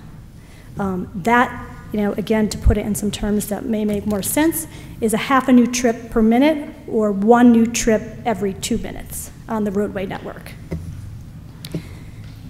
We also looked at um, some historic research of the site as it existed back when it was the state school, and we did some trip generation for that site, assuming um, basically 74 students would, uh, you know, um, attend that school. Um, and what we came out with is a difference in the existing trips compared to the new trips in a, um, a negative of 11 trips in the morning. So it'd be 11 less trips than what the existing site was originally intended for, and then an additional 42 for the evening peak period. In terms of the study, though, we anticipate um, all of the trips to be new trips because the, you know, the state school has been um, closed down for a while. So we anticipate the new trips to be the 48 and the 55 total uh, throughout the roadway networks. We didn't take credit for the existing use. Um, In terms of the special event space, um, as you know, this will be um, trips associated with that space when it's rented out as, you know, an art show, weddings, business gatherings, et cetera. Um, In order to determine the potential trips associated with a special event, we looked at the most generous and the most conservative type of event that could happen there, and that's a wedding. So um, if you look at ITE rates, a wedding is the most, um, you know, conservative of all these events. Looking at that, we looked at a few different capacity. Um, we looked at a 100-person capacity, a 200-person capacity, a 300-person capacity, and a 400-person capacity. Looking at the highest use, so the 400, basically 400 uh, people that could attend an event, we'll say at once, across the entire project, not just the Scranton portion of it. Um, You're looking at 120 new trips that will be entering an hour before, and then 120 exiting an hour after. So if you think about it, these trips aren't on the road the entire time the event's going on. Just like a wedding, you have people coming a little ways before and then leaving after, and it all disperses. Um, So again, those trips we anticipate would be off-peak from the other uses on site, the um, office, residential, things like that, because they typically are held on a Friday night, a Saturday, Saturday. Um, Some other things to point out in the, um, the study we provided, um, we looked at the existing access point on North Washington Avenue. If we assumed all the trips for this entire project enter and exit that particular access point, um, you're looking at something like an anticipated 646 daily trips. Now, that existing access point is currently designed and was at one time um, acting as a low-volume driveway. A low-volume driveway has the ability to accommodate up to 1,500 24 two-way trips. So if you think about it, our 646 we're technically only utilizing 43% of the capacity of that actual driveway. So just something to think about when you're looking at the North Washington Avenue driveway. Um, And again, that would, that would assume that every trip that we are producing would use that entrance and exit. Um, Another thing to, to mention in, in terms when we talk about these trips is we, again, I, I stated this a little bit earlier, we did not talk about, or we did not assume any internalization to the site. And by that, I mean, you know, for the restaurant, uh, typically the uses uh, encompassed in the development, like the residential, the office, are going to be the main patrons of that restaurant. We don't anticipate a ton of outside uh, traffic um, uh, utilizing that restaurant space. Um, Similarly, we did not take into account any of the um, multimodal split. And what I mean by that is some of the residents aren't going to have cars. They're going to rely on Ubers and Lyfts and bikes and buses. They're not actually going to be, you know, using cars that will um, generate trips to that site. But again, our numbers are conservative, assuming everybody, every use is, you know, using, um, uh, you know, a vehicle is generated by them. Um, so based on my knowledge of the capacity analysis and the traffic operations, I believe the site access for the proposed site can efficiently accommodate the projected number of trips with no adverse impacts to the surrounding roadway network. The number of projected site-generated trips are not significant and will likely result in minimal delay and queuing for vehicles along the internal site driveway as well as along the local roads surrounding the project. So that's, in a nutshell, what the analysis um, walks through. I could take questions.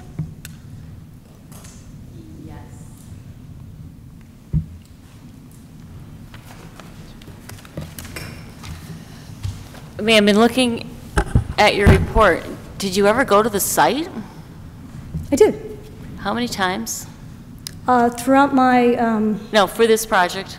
for this site, uh, maybe twice. Yeah, two times. Uh, Remember, I lived here for 25 years. Oh, What relevance oh, does that I'm have allowed to to this? establish a foundation here because the word estimate, assume, anticipate have been used throughout this entire report. It's based on estimated data. Well, ITE traffic generation rates are estimated, and that's how a traffic study is prepared and Mm-hmm. um, the numbers are calculated. Correct. So we, let's, you and I agree that the data you used is estimated. I'm going to object to that, it's mischaracterization. As this board is I- aware, traffic generation goes by, you've heard it, I didn't present it here in the last month. You use I- I- accepted, I, th- I think she explained how she, I think her, her explanation was fine. I I would like an answer to the question, though. I don't- gave you an answer. I may That repeat says the, it. uh, the estimated trip generations is done by ITE trip generation rate, which is the known procedure that all traffic studies in Pennsylvania go by. Okay.